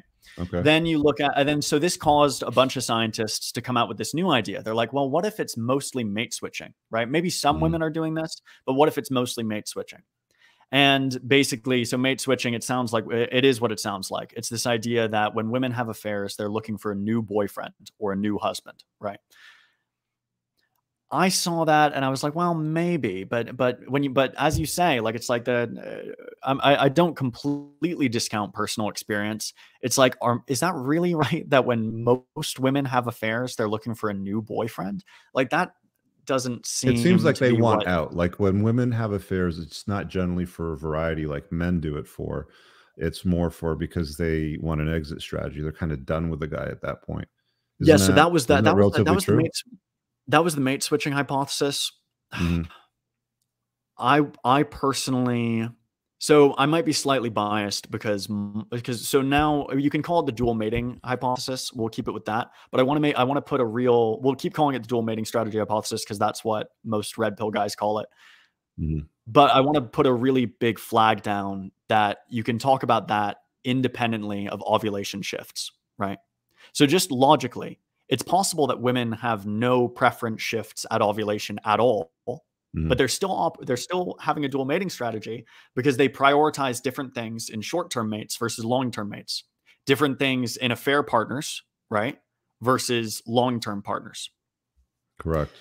And so you so can't always find, find it in the same guy. So that's why there seems to be a little bit of flip-flopping with that. Yeah. Yes. And that's why there's also some confusion is that the vast majority of women, at least at any one given time, I'm not saying across the entire life course, but the vast majority of women at any one given time are enacting a you know single mating strategy let's call it. I mean that doesn't sound as good as dual mating strategy but it's like they're mm-hmm. getting genes and investment from one partner right? The dual mating strategy basically posits that if women are looking for genes and investment and it's based off of it's based off of other animals where we know this is happening right? Like we're we're very confident that some species of birds are enacting a dual mating strategy. Right. why are we confident in that? Well we we look at the paternity rates and we see that oh you know, a lot of the eggs don't belong to the male who's raising the eggs, right? Um, and then who did she mate with in terms of reprodu- reproduction? She mated with a better looking male, right? A male, a better looking according according to birds, probably because the male's more robust, right? He has better plumage, that kind of thing. Measurable, mm-hmm. measurable traits that seem to be attractive. And there's so this there's this theoretical idea that maybe women are doing the same thing sometimes, right? Maybe some women who cheat um, are and are are driven by the same underlying evolved psychology. So let let's talk about the evidence for that.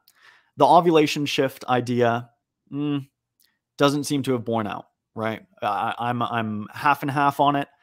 Maybe we'll see what the next ten years of research show.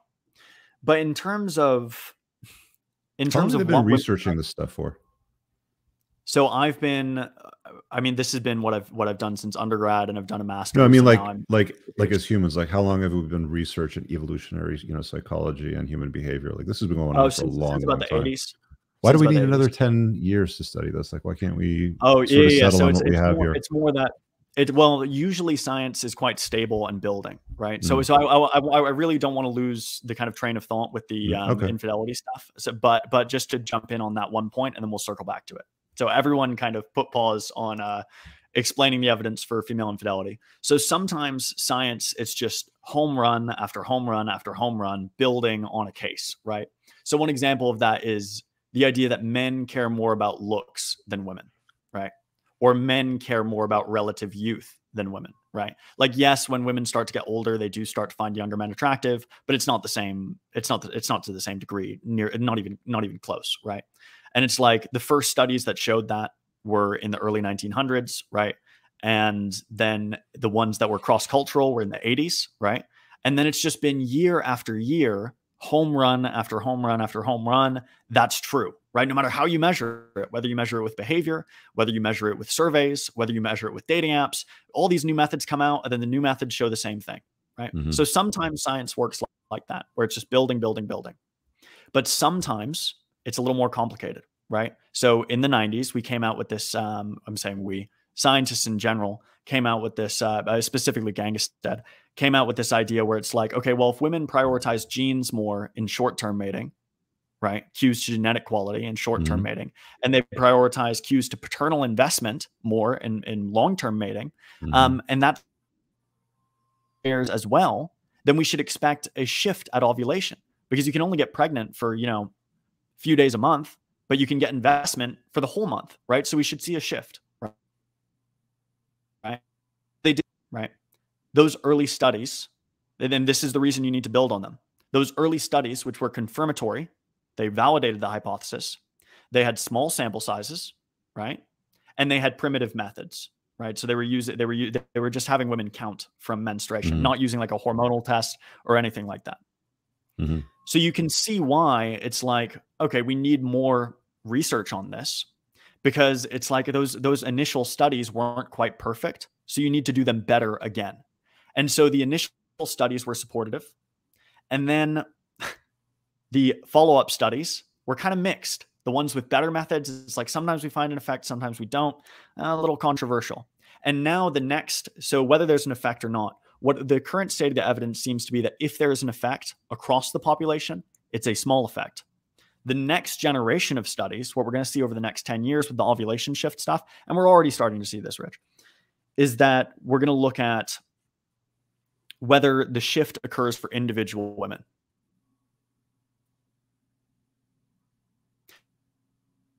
Oh, you're frozen up, my friend. You You still there?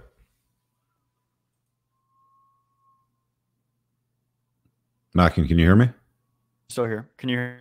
Yeah, you're freezing up. Um, kill your video feed for a little bit, um, just so we can get some clean audio, and then maybe just turn it back on. Can you hear me? Yeah. Sorry, man. You froze up for about five or ten seconds there. Oh, bummer, bummer. Sorry to everyone on the live stream. Um, so what was I saying though? Oh, oh yeah. Just back up about ten seconds. One real common idea is the idea that women who are paired with unattractive. Okay. So women who are You know what, want me to turn Macken? Macken, just stop for a second. Yeah. just turn off your video feed just so we have audio only. Let that clean up, and then we can turn the video on maybe in like ten or fifteen seconds. How do I turn off my video? Uh, just on the bottom of your screen, you'll have Oh, stop, stop cam. cam. Yeah, there you go. okay, cool. Boom. So what are we there's- see? Can you hear me now? Yeah, you're good. So just back up about 10 seconds.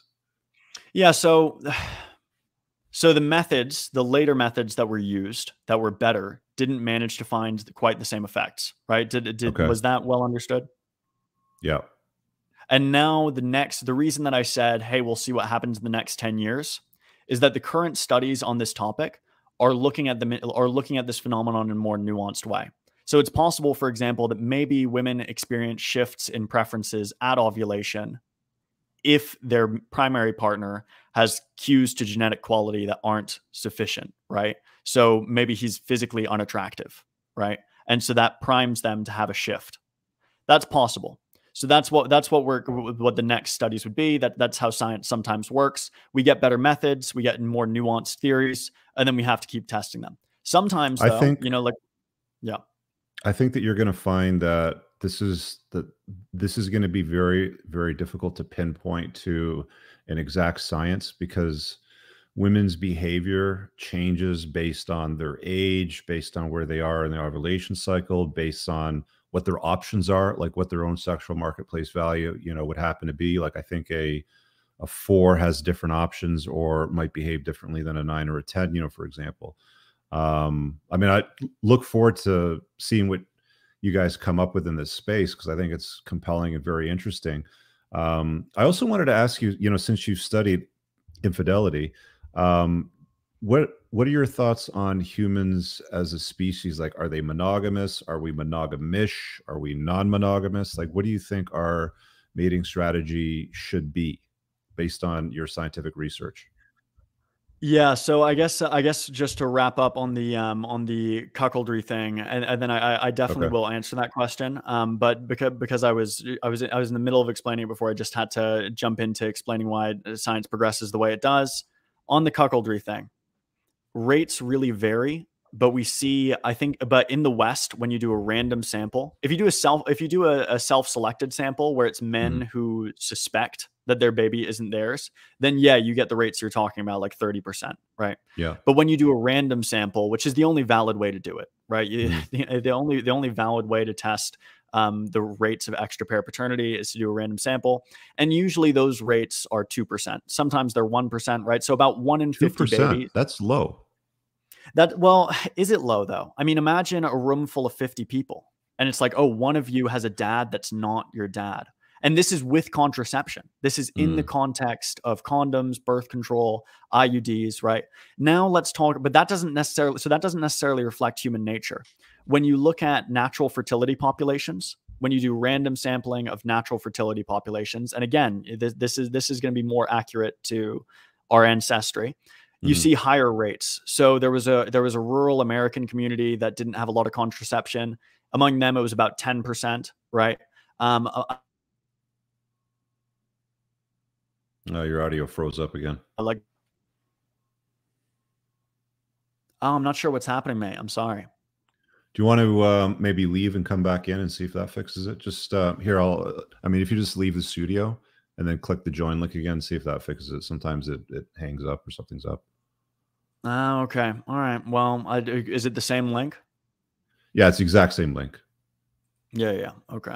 Let me see. Yeah, so just leave and then come back in and then just start with your um, audio only. Sorry about this, guys. You know, sometimes when you do these live podcasts, it's it just such as life. Maybe the uh, internet connection to Australia isn't what we need it to be tonight.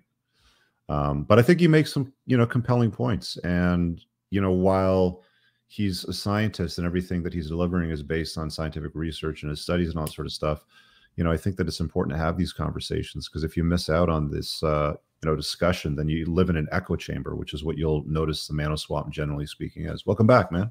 Hey, thank you. Sorry about that. It looks like it looks like we're we're rolling again. So It looks I'm like we're good. Awesome. Yeah. So, um, yeah. So talk So about. cuckoldry. Yeah, yeah. on cuckoldry, I'll just jump in because this this is a, really one of my areas of interest, and we just finished a study on infidelity, on women's infidelity specifically. And Mhm. for what it's worth, what did we find? Uh, I mean, uh, I'll I'll send I'll send you the manuscript when it when it comes out. Um, Sure.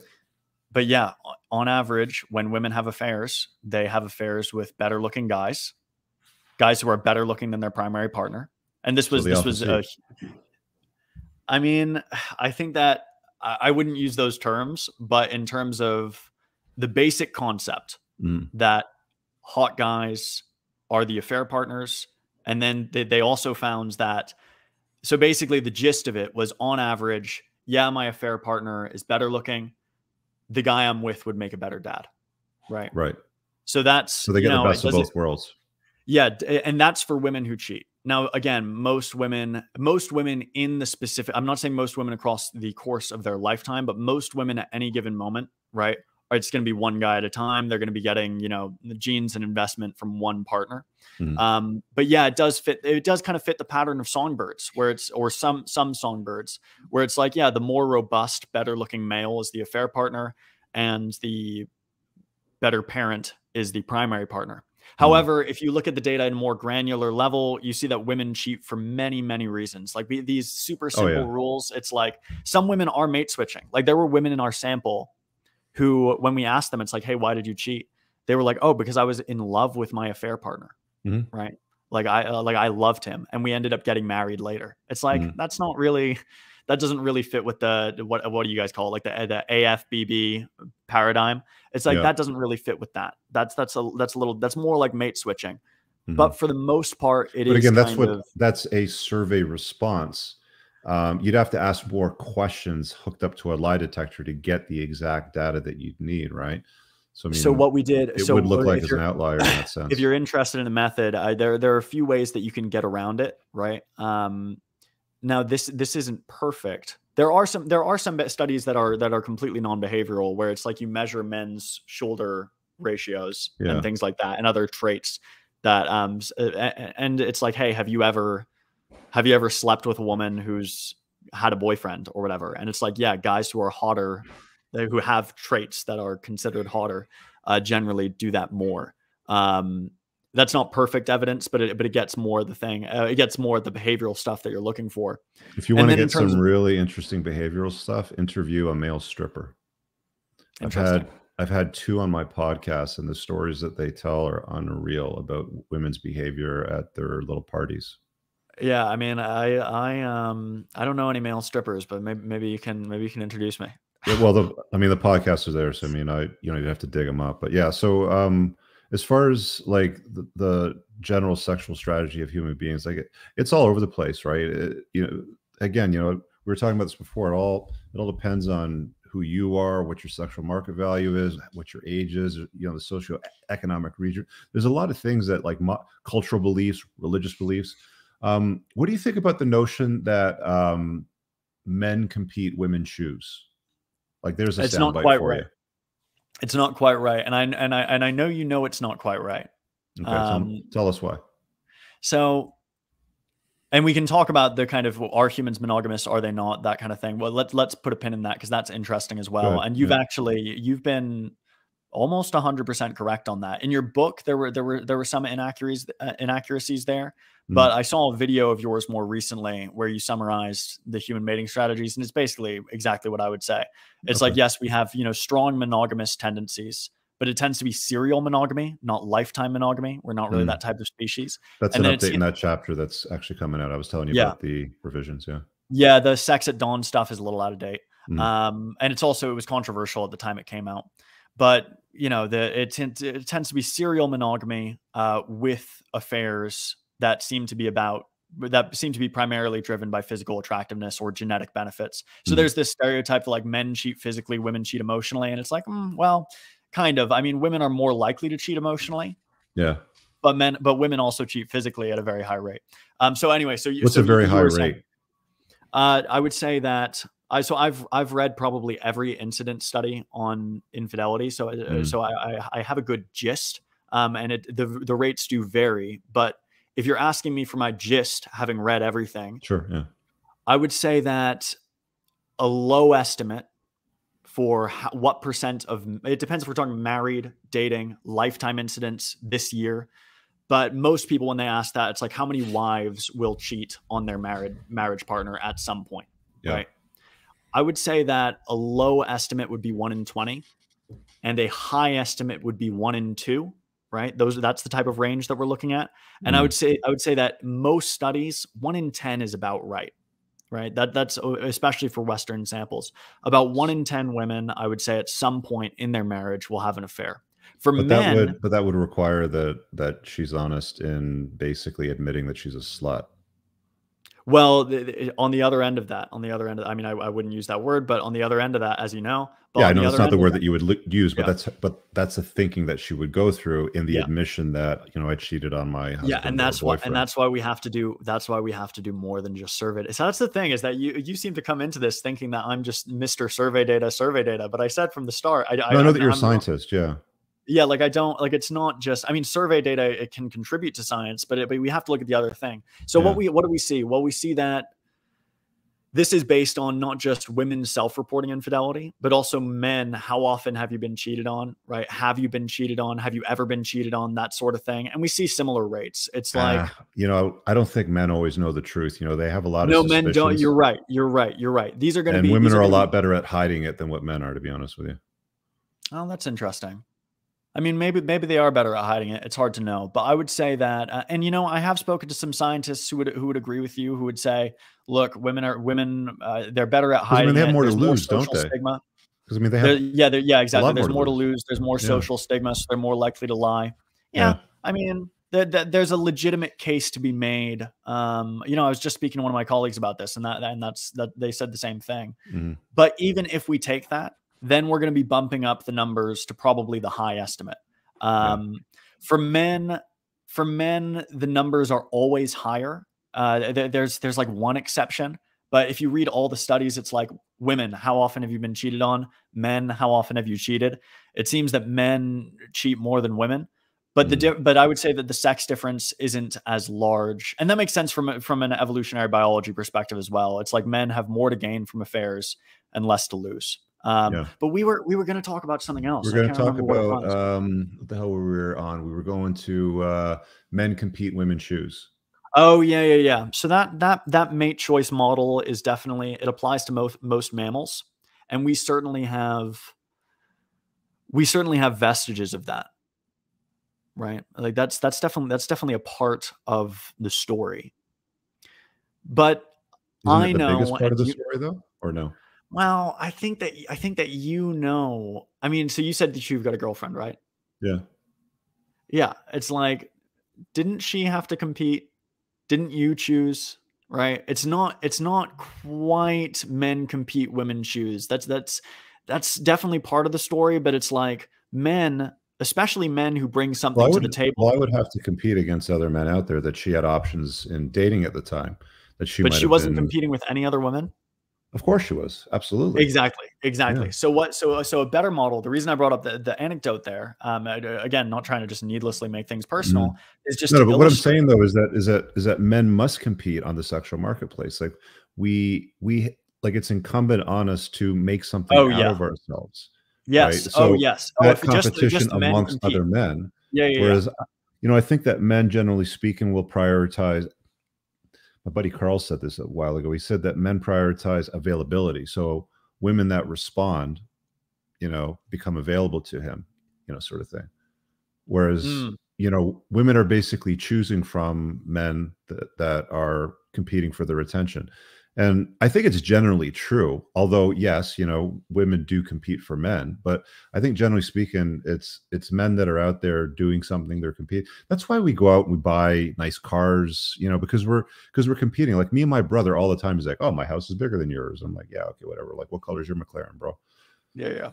So so so this is interesting. We can get into it. Uh, and, and I'm, I'm, I'm happy to. I, I also recognize that. I, I, mean, I'm good to go for time. I can keep talking. Um, yeah, I can go for another uh, 30, 40 minutes if you want to do a full okay. two hours. I mean, this yeah, is yeah. a really interesting conversation. I think the guys yeah, like this, so. yeah, no, no, no. I'm, I'm, I'm, I'm, I'm happy to. I mean, all of this is this is all I think about um, all day, and it's, it's you should do more my, with your time, man. You're thinking about this too much. Yeah, yeah. My my full my full. If you would be horrified if you saw uh, my day to day life. I'm not I'm not out here driving McLarens. I'm uh I'm sitting down and reading all day. Um, but in any case, it's a very boring life, but for most people, but I enjoy it. Okay. So men compete, women choose. Yeah. That statement, uh, men compete True. Women choose. True. But we can't stop there right. because women compete, men choose as well. This is going to be less true. This is going to be less yeah, true. Mm-hmm. This is going to be less true for low mate value males, right? So obviously, if you're a male and you have, and you're not, and you're not towards the top of the competition, there's not going to be a lot of women competing over you. You're Mm-hmm. basically going to be competing to get women's attention constantly. So this isn't going to represent your experience. But you know, if you're a man who's towards the top of the competitive space, um, it just let's just say a high mate value man, and you're interested in monogamy, which look, I mean, most men are, frankly. I mean, there's this stereotype like, oh, you know, um, what is it? Hogamus, higamous, men are polygynous, higamous, hogamus, women are monogamous. It's like, uh, kind of, but not quite. It's like men have more multiple mating impulses probably but not but that's that's not quite right most men are going even yourself right you're you're you're mr plate spinner and here you are with a girlfriend it's like Was, men yeah. have Mhm. yeah exactly it's like men have a strong desire towards monogamy uh, whether they whether they admit it or not we see it come out in the behavior and But so if you're a man sexual strategy that men have adapted from women, right? You know, watching women, you know, uh, choosing for multiple men. Because, I mean, you know, I think guys get criticized for dating multiple women simultaneously in a non-monogamous fashion, aka plate spinning. But I think that women do it by nature. Like you have to tell men to do it, right? Like the average guy out there, and I've had a lot of these dudes calling in my show. It's like you know, the average guy is just a dork, and the first girl that touches his peepee, he, you know, he wants to be the boyfriend girlfriend, and that's it. And he's not considering other options. He's not looking at red flags. He's not looking at anything and you know he's just looking to sort of lo- like lock it down and be like you know can we be a couple sort of thing. Whereas i think women are looking at options you know they're like until looking a, at options yes but i wouldn't say until I a, wouldn't say, a high value guy you know comes along where other men become in- invisible to her and she says yeah you know this guy is what i want then that's the only time that she'll consider a monogamous long-term relationship. Would you agree with that Yeah, to an extent. To an extent, I think that I think that some of the things there I, I might just be misunderstanding Mhm. um, in terms of what you're what you're trying to say. So I don't want I don't want to just I don't want to I don't want to needlessly argue on a point where I th- like I, I think that men do have stronger inclinations towards multiple mating than women. definitely But in, yeah we've got but higher okay, testosterone okay. So we agree. Yeah, so we agree. We agree. But in terms of so that sex difference is very well supported, uh, and and this is from behavioral data for anyone who's you know really picked up on the survey data versus beha- that's behavioral data, survey data. Basically, however you measure, uh, however you measure it, men desire sexual variety more than women. In terms of filtering options, I think you're right that many men just don't have options. But in terms of the men compete, women choose model, when once once people are monogamous, right, which most people are doing, most people, even even the, the highest mate value males, a lot of them are just looking for monogamy. Mhm. What does that mean? It means that it's it's a one to one pairing for a, a huge portion of the market. Not all of them. There are men who are dating multiple women, obviously, and women who are dating Mhm. multiple men. Once there's a one to one pairing, it's like musical chairs, right? Women have to compete, meaning that not everybody gets a seat, and you have to fight for oh it. okay Yeah. So, and there's you know one one one seat per one one seat per sitter. So, it's like on that point, you know, Yeah. like something else that I learned from the uh, red pill, you know, from the manosphere was that women are willing to share. Women would rather share a high value alpha than be straddled with a faithful loser. What do you think of that soundbite? yeah, that's something that they say a lot, and it's definitely true for some women. Mhm. But we would see okay. I mean, it's the reason why a woman will date a married guy that's successful and has a family, but won't date a guy that lives in his mom's basement playing video games. Okay, so I'm going to I'm going to I'm going to speak very carefully here because I think more I think more I, I, we're, we're, I'm kind of over my skis in terms of where the research is on this point. Here's Mhm. what I say the research does support. Women would rather sleep with nobody than sleep with somebody who they don't find attractive, respectable, etc. Oh yeah, Right. yeah, I agree with that. And so, what does that manifest in? Right? It manifests in women competing very vigorously, right, for mates that they find actually attractive, respectable, etc. Mhm.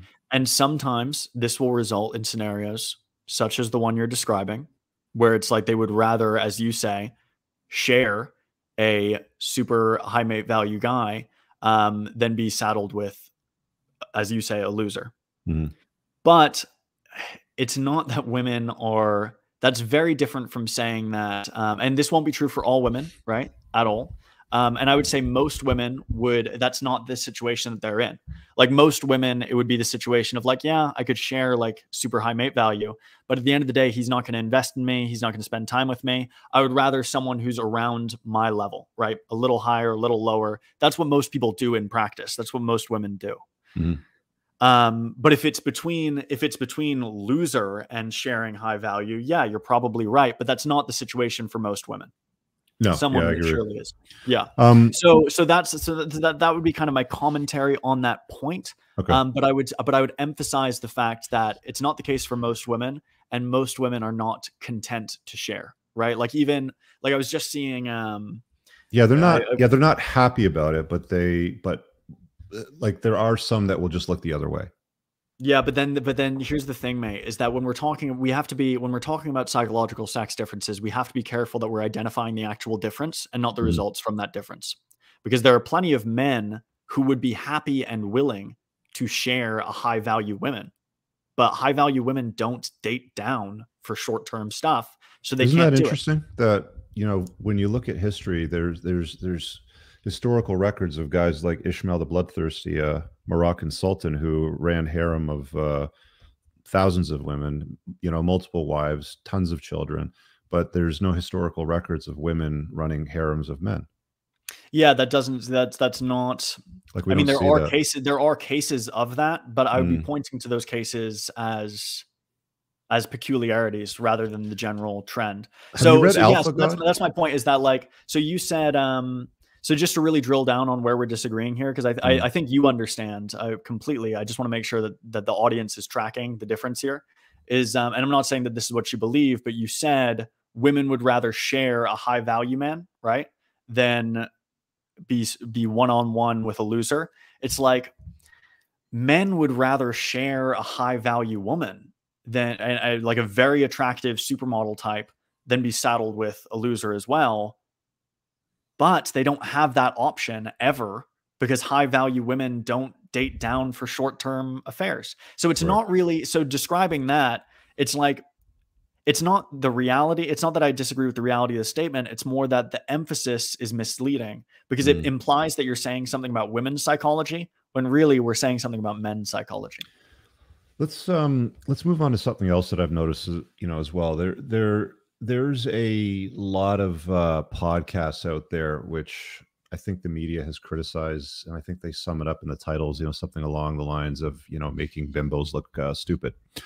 Um, and there seems to be like this general notion that women today have an overinflated ego, an overinflated sense of entitlement, and they don't understand um, like the numbers, if that makes sense. So I know that this isn't really going to deal with like scientific, um, you know, research that you work on or anything that you, you know you lecture on, but do you see in what you've come across and what you do that women don't have an accurate understanding of options on the sexual marketplace? Like you'll see this, you know, for yeah, example, I, I understand. I understand exactly what you're where like you'll see a pregnant woman with three children in tow from different fathers and her occupation is stay-at-home mom on tinder saying that she's looking for a guy over six foot tall with a six-figure income six inches in the pants six-pack abs you know the six sixes sort of stuff what do you think of that is that something that you can comment on as far as you know from your experience or you know with your Yeah, of course. Yeah, of course. I mean, I mean, of course, this is something. Uh, this is something that I could get into. This is one of my other gripes with the red pill is mm. that a lot of it is based on personal experience, bro. And this one woman I know, this one anecdote, da da da da. And I'm not accusing you of doing this here. I, I understand why you're why you're bringing up these points because Well, I've seen your hundreds I've seen your- thousands of like podcast guests now where they've there's clips all over the internet now. Where, I know, I've, but I've also seen I've also seen your criticisms of those is that there's and and I think we'd agree on that. So I'm not sure if you're just playing devil's advocate right now, but this idea that am, like yeah. they're they're selecting a a specific portion that they know they they're selecting a subset of women who they know are going to say certain things so that way they I've can push asked narrative Myron about that on Fresh and Fit years ago, and he said, "No, that's an accurate representation of the women in Miami that are available to come in." I think uh, you know what it reminds me of.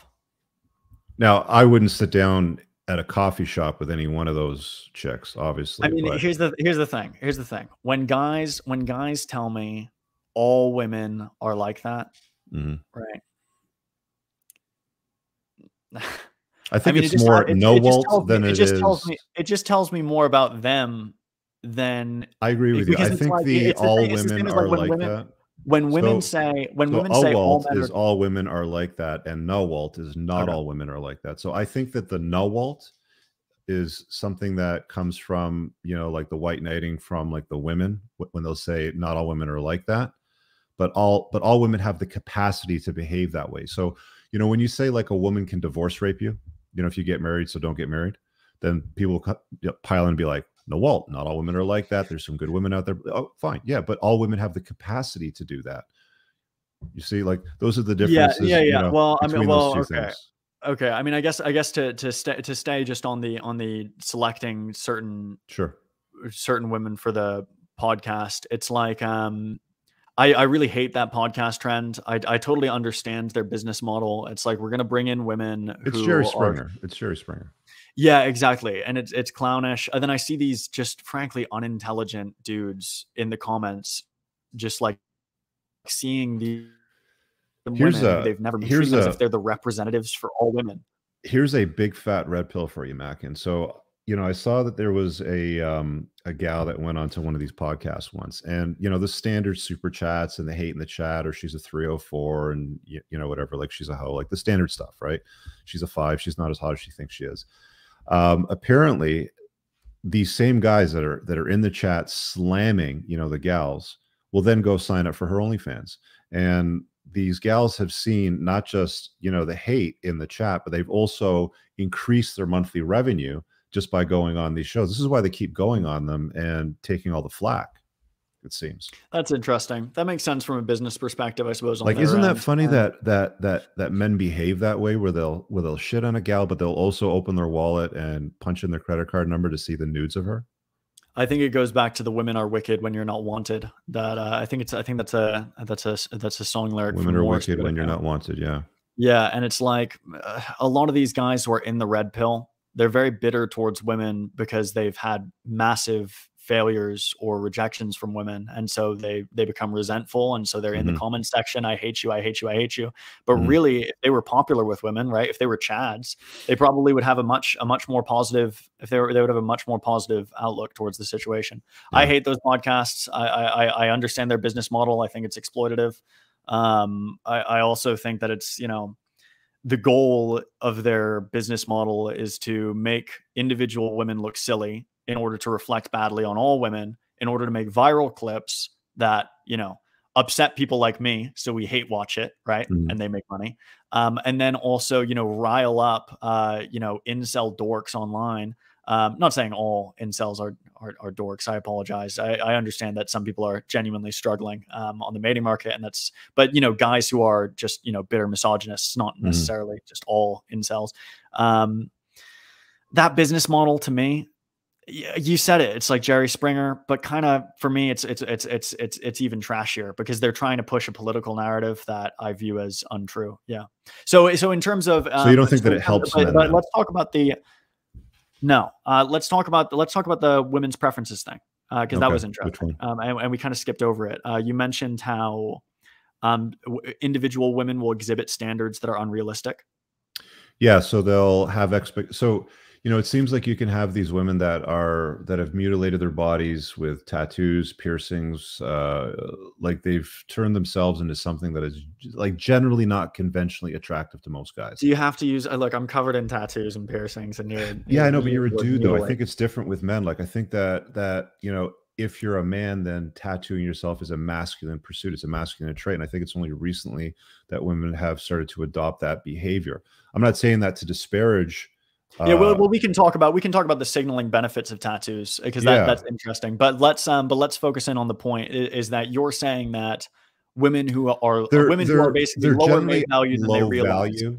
They've shared their body with loads and loads of men, and they're holding out to be pure and looking for a guy to look past her bad choices and the results that she's got out of life, and to basically invite her into their life. And I mean, like you notice when you read my book, I obviously have a chapter on red flags that I think men should be attentive to when it comes to inviting women into their life on a longer term basis. And most of these women have more red flags than a Chinese Communist parade, right? Like they're just a walking nightmare uh, waiting to ruin a dude's life. Um, so I think that the entitlement is real. I think that they don't have an accurate assessment of their actual uh, mate value in the sexual marketplace. They also have a expectation as well. It seems that there's a lot of like there's some geeks out there that created this website. I think it's called I Got Standards Bro. I don't know if you've seen it. Oh, is it is it like the is it the standards calculator? It's the it's um, like I think it's called the height, female the female delusion calculator. And you yeah, you put in, in like height, you put in money, you put in exactly. all the things that you're looking for, and then it shows you, oh, it's and actually zero point zero one percent. Yeah, and then it collects the demographic yeah. data and it spits out a number like you know one yeah, yeah, of the population. So there's not a lot of guys out there, and women will go, that's okay, I'll just wait. Right? Like, what do you think of that notion with the sexes? Because aren't men and women better together than they are apart? Like this like this environment that we're in right now when it comes with current mating strategies is very very difficult. I think it's harder than any other time in history if yeah. i'm being honest right? So some women yeah we could talk about that as well. God so much to get into but i will say that look some women it's true are going to have unrealistic standards and these shows are going to illustrate those women right shine a light on them. But i would encourage you to look at the comments and see how unrealistic the standards are of the followers of these shows right they're there mostly men, guys, but I mean, you don't know who they are. These men, no, these men are like, oh, I'm holding out for, you know, a virgin trad wife who's beautiful and fit and young and all this kind of stuff. These guys just like, bro, talk though, Mac, and you it's know, like, just talk. Like, who are they? Show me your yeah, face. That, Show well, me what you do for that's a living. What I'm saying. That's what I'm saying is that that's the male version of the same phenomenon. it's like, and, right. and, and, yeah. you see the same, I see the same thing in the comments, like, um, like, oh, I, you know, I'm an alpha, I'm a high value male, da da da da da and it's like you sound exactly the same bro. It's like your your standards are so high but you can't you don't you bring nothing to the table as a male. You can't afford to have those standards. Well, so i find honest, it, i mean if you're a a top shelf man like if you're in the top 1% you're not watching shows like that. You've i mean you're doing you something different time. in your life. No. Yeah. No i agree. I, I i completely agree. So i would say that yes some people have too have too high standards on the mating market but mm. I mm-hmm. wouldn't make it a gendered thing because it's like I see men who are doing the same thing. I would also, I would also. But when we talked earlier about men prioritizing you, availability, don't they do that? Yeah. So let, yeah. So so women generally, you're right that women generally are pickier than men, but there are a lot of men who are doing the exact same behavior that you're talking about. And mm. I'm mm-hmm. not saying that as like a oh look at the anecdote to prove the rule. I'm I'm saying that at a general level, especially in these environs. It's mostly smoke. But let's talk like about it. Let's talk about shit. it. Let's talk about it though at a more. uh let's look at this from a sing- signaling perspective, right? Sometimes when people are struggling on the mating market, they pretend that it's because their standards are so high and they're waiting. But in okay. reality, they've got nobody, right? So a woman might say, Oh, I only date guys over six feet. Mm-hmm. And it's like, okay, well, where are the 5'11 guys waiting to date you? You're saying that because you're trying to distract from the fact that you don't have any options. So you're pretending so is that, your standards are so high. Then on yeah, the other so let end, just stop men, there for a sec. So the other, stop then on the other end with men, sec. we see the same thing. Just stop there for a sec. So yeah, yeah. isn't that isn't that when you know when like the red pill or the manoswamp says, "Watch what women do, don't listen to what they say." Isn't that? But I've been advice? saying that. I've been saying that the whole show. I've been saying ever since you brought up the survey again with the survey data. It's like I'm saying I'm saying that a lot of times we have to look at behaviors, behavioral data, right? Actual okay. things like that, not just what people say. Okay, so, so you're all, all about watching the behavior then. Oh, of course. Yeah, yeah, of course. A lot of times the survey data is informative because sometimes it reflects genuine psychology. Mm. But yeah, I mean, yeah, you need so so but what I'm saying is that there's a benefit to saying that you have high standards because one, it signals it's a positive signal of mate value, right? It's implying mm. it's like, oh, look at me, like I, I can actually make choices here. So it's mm. creating the illusion that you have high mate value, whether whether that's effective or not in specific cases, hard to know. Um, mm. But you know, like these, like guys like Myron Gaines being like on, on on fresh and fit, saying, oh, she needs to be, you know, she needs to be feminine, she needs to be um, beautiful, she needs to be subservient, all this kind of stuff. And he's saying he's setting this like incredibly high bar for what he wants in a relationship. He's acting like he's very picky. Mm-hmm. And it's like, I mean, I, I, don't know about his specific case, but for a lot of men, they say the same kind of things. And it's to mask the fact that no woman wants them.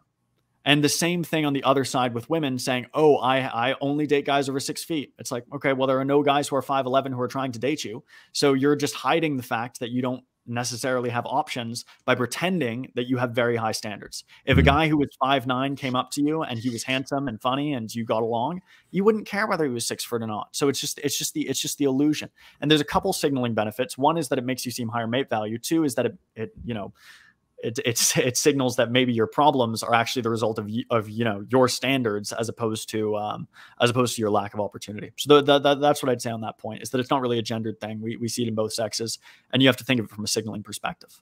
Let me ask you a question about something that you stated in um, that podcast that we were chatting about when we opened. Um, you said that you, uh, I mean, the uh, the clip was titled uh, "Red Pill Advice is Garbage," and I think that the criticism that you had was um, that that that men in their twenties are advised not to date, and you thought that that was because um, the red pill guys were disqualifying uh, men from the sexual marketplace so they could have access to the women. Can you talk about that a little bit? Because I wasn't totally clear on that.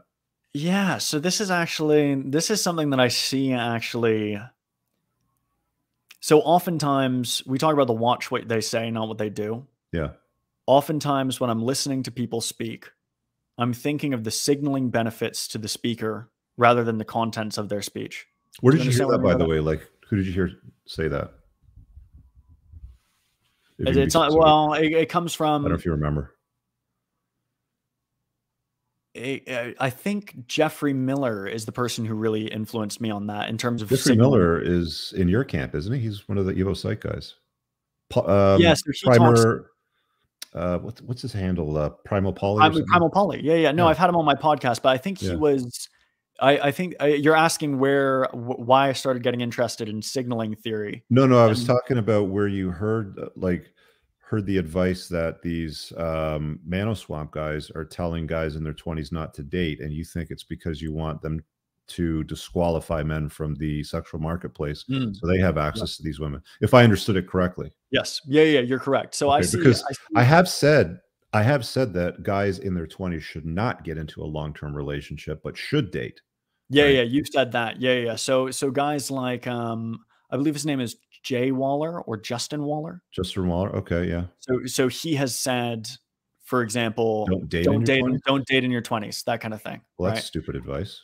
Yeah, I, I I would agree. And then your thing on don't get into a long-term relationship in your 20s, I would also disagree with that, to I be would- honest. I would I would build on that and say don't jump into a long-term relationship in your 20s, right? Like there's there's vetting that needs to be done, there's groundwork Okay. you need to set for your life and I Yeah. think that guys Okay. can wait until later on in their lives, you know, if they're going to have an LTR or raise a family or, or Yeah. have children. They don't have the same timeline that women have, right? Yeah. You've also said though that yeah, they don't, they don't. But but and this is another area of disagreement with us is that I've heard Okay. you say in a couple of TikToks that you believe that men peak in their late 30s. Yeah, I would tell me a say that there are a lot of guys that I know that that have reached their uh sexual market peak 37, Mm. 38, 39, 40. I mean, I know a guy that's 42 that's just he's insane. Like he's got really good genetics, he's loaded. He doesn't want to settle down. He's got lots of women in his life.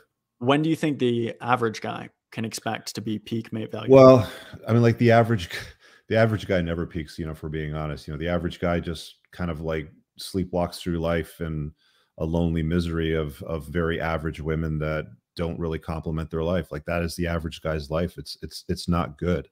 Um, but when do I you think, when you, what, what age do you think the average guy is going to have the most options? Because I, I think we I think if the average guy does does the work on himself, uh, chases excellence, becomes competent, is captivating, um, is has like I know that you get this because you're a boxer and you've competed in an arena. I have a lot of respect for any man that will put his chin on the line um, and stare down another man in a fight because I think that's an important skill and a, and a rite of passage for for a lot of guys. So I think guys should be doing stuff like this to build build the foundation and build the bricks of what a man truly is right like what a good man is and what uh Um, you know, Jack Donovan talks about this a lot in his books, you know, The Way of Men and Becoming a Barbarian, you know, where you have good men and men that are good at being men. And that's my gripe with the Mano Swamp is I look at it and I see there's not a lot of good men and there's not a lot of men that are good at being men in that space, which is why I don't associate with, with it anymore. But I think that guys, if they do the work on themselves, mid 30s, late 30s is entirely plausible for you to be at your peak. Um, whereas with women, they can look very, very attractive in you know their late 30s, even 40s. I mean, there's even 50 year old women out there they're very attractive, but they're not as hot as their 23 year old self. And when you survey men, and I know that you've done the research on this or you've at least read it, most most in fact all men when you survey them on a balance of probabilities will select about 22 23 as the most beautiful woman you know if you show them 20 to all the way to 70 generally speaking it's early 20s they tend to pick as the most beautiful so men and women do have different timelines is what i believe but you don't think that's true you think that men peak differently Oh, I uh, no, we we we agree on some of the things you said there. I'll, I'll okay. note on the boxing. It's kind of funny. We we we disagree on so many things that I was I was on the phone to my girlfriend last night, Mm-hmm. And um, I was just telling her, I was like, oh, this kind of, you know, I have to go on a podcast tomorrow where I disagree with the guy on a lot of things. It's kind of reminding yeah. me of boxing a little bit. I yeah. miss boxing every day, every single day. I, I, have had, I've had one fight and I loved it. I mean, I would do it again, but I've been training for like three and a half, four years. So I get it. Right.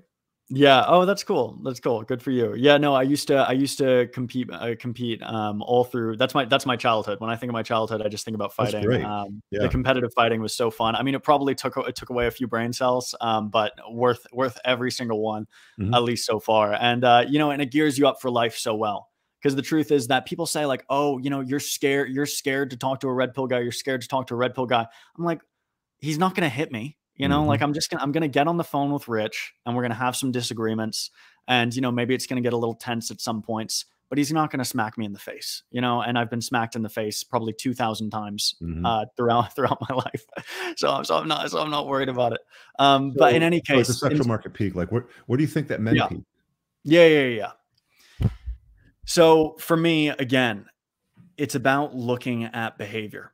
Mm-hmm. Right. So I agree with you that for some men, especially if they're, you know, career maxing, as as an incel might say, um, eh, you know, they, maybe maybe they do, yeah, maybe they do peak later. But here's just the cold reality of it. And it's not, and I think a lot of a lot of these guys in the red pill space, they're in their late 20s, they're in their early 30s, right? And they haven't, you know, they haven't really succeeded with women yet and mm. so they're telling themselves this story. I'm not saying you're doing this. You're obviously, you know, at, a different stage in life, but they're telling this themselves the story. Oh, the best days are yet to come. The best mm. days are yet to come. And it's like, mate, the best days already passed you by. Like if you look at if you look at when women peak in terms of their in terms of you would say their sexual market value, I would say mate value. I would say that a variety of evidence converges on it being um, in their 20s, at least in terms of when men and and this is when men not going off of what people say it's just when do men compete most intensely mm-hmm. over mates right? And it's over that group of mates. It's women in their 20s right? I'm not saying that this is how i want the world to be right? I'm just saying from a cold apathetic reading of the data this is this is when female mate value or women's mate value seems to peak in our species. Who do these women select? These are the women with the most selective power. They can choose whoever they want to be with who do they select? They select other men in their 20s.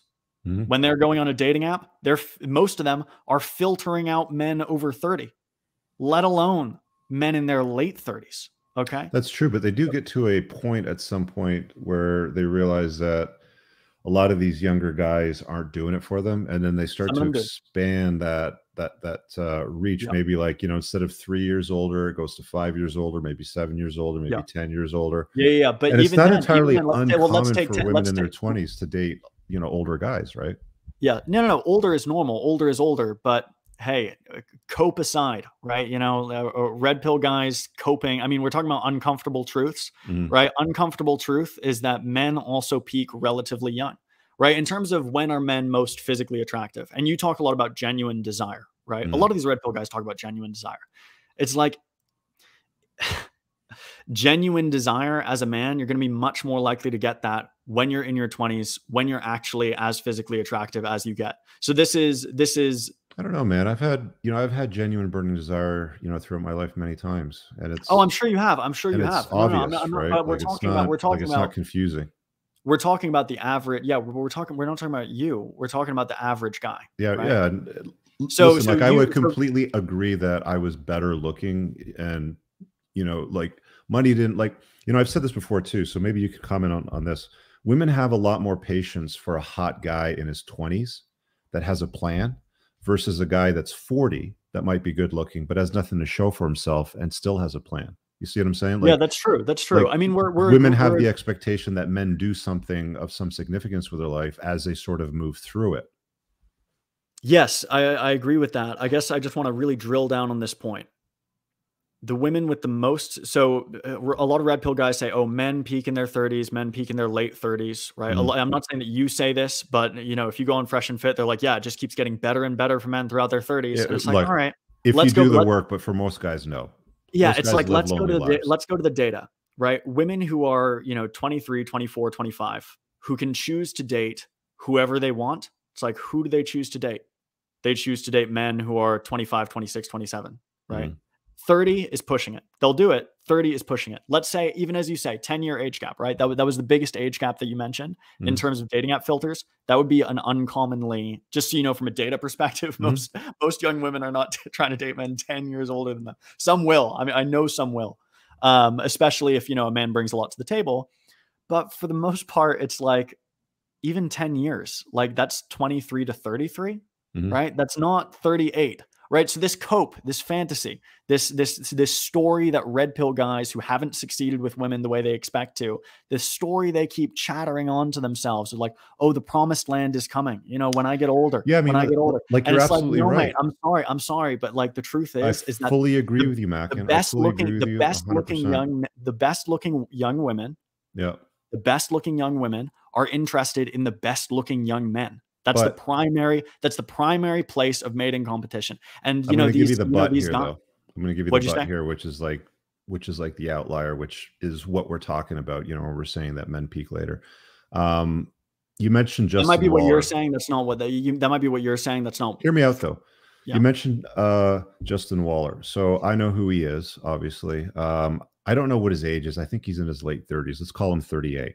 You know, let's say. yeah probably when he was younger 40s. he was kind of fat and dorky and you know he did something with his life got some style going um, you know built a uh, a business made some money improved his network you know surround himself with higher value guys um, arguably he is of a higher sexual market value at his current age today than what he would have been at 23 so i think the Yeah, argument absolutely. that's that's that's made there is guys don't sweat it. You're not getting the results that you want right now. I know you want a 10. I got it. You know, you got a lot of testosterone and you want to chase gals, but work on yourself, invest in yourself. Like that's the messaging that I try to convey anyway, right? Is like, look, you may not be getting what you want right now, but I'm not saying the best is yet to come. The best is yet to come if you do the fucking work. You know, the best is yet to come if you fix your deficiencies, if you become captivating, if you develop a strong network, you know, if you do all the things that I tell guys, you know, to do in their lives, then they can still get what their uh, hopes, dreams, and wants are at 38,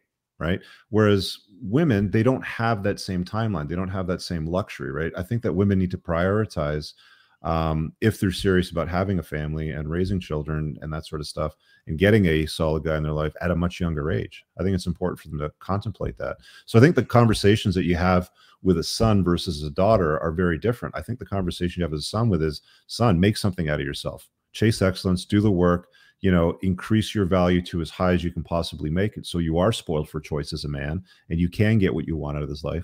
And daughter, preserve your value. Don't run around and share your body with a bunch of guys. Don't go and tattoo it up. Don't go and dye your hair purple and do stupid things with your life. Preserve your value and preserve your purity because that's what men, you know, of high value are looking for. Um, you know, I had this conversation once where it's like, you know, well, what should I be doing as a woman? You know, I'd be telling, you know what I'd be telling my daughter? Go and get a job selling jets, high end uh, cars, selling yachts, and you will be exposed to very successful men. Date one of them, you know, and get yourself sorted out that way. That would be a great way, I think, you know, for a woman to sort of get what she wants out of her life instead of climbing the corporate ladder and chasing degrees. Because in the Well, West, family law protects relationship? women. Yeah, but surely, surely you understand that it's not all just mating. Like we can talk about, you know, mating goals and things like that, but surely you know that. I mean, I, I, I, I just know that you know this. That like, like in the same way that men have dreams for themselves and dreams mm. for what they want to achieve in life, uh, women have those dreams as well. Yeah, I'm not sure what happened in my video. I'm like, oh, you know, I think my camera overheated. Can you still hear me?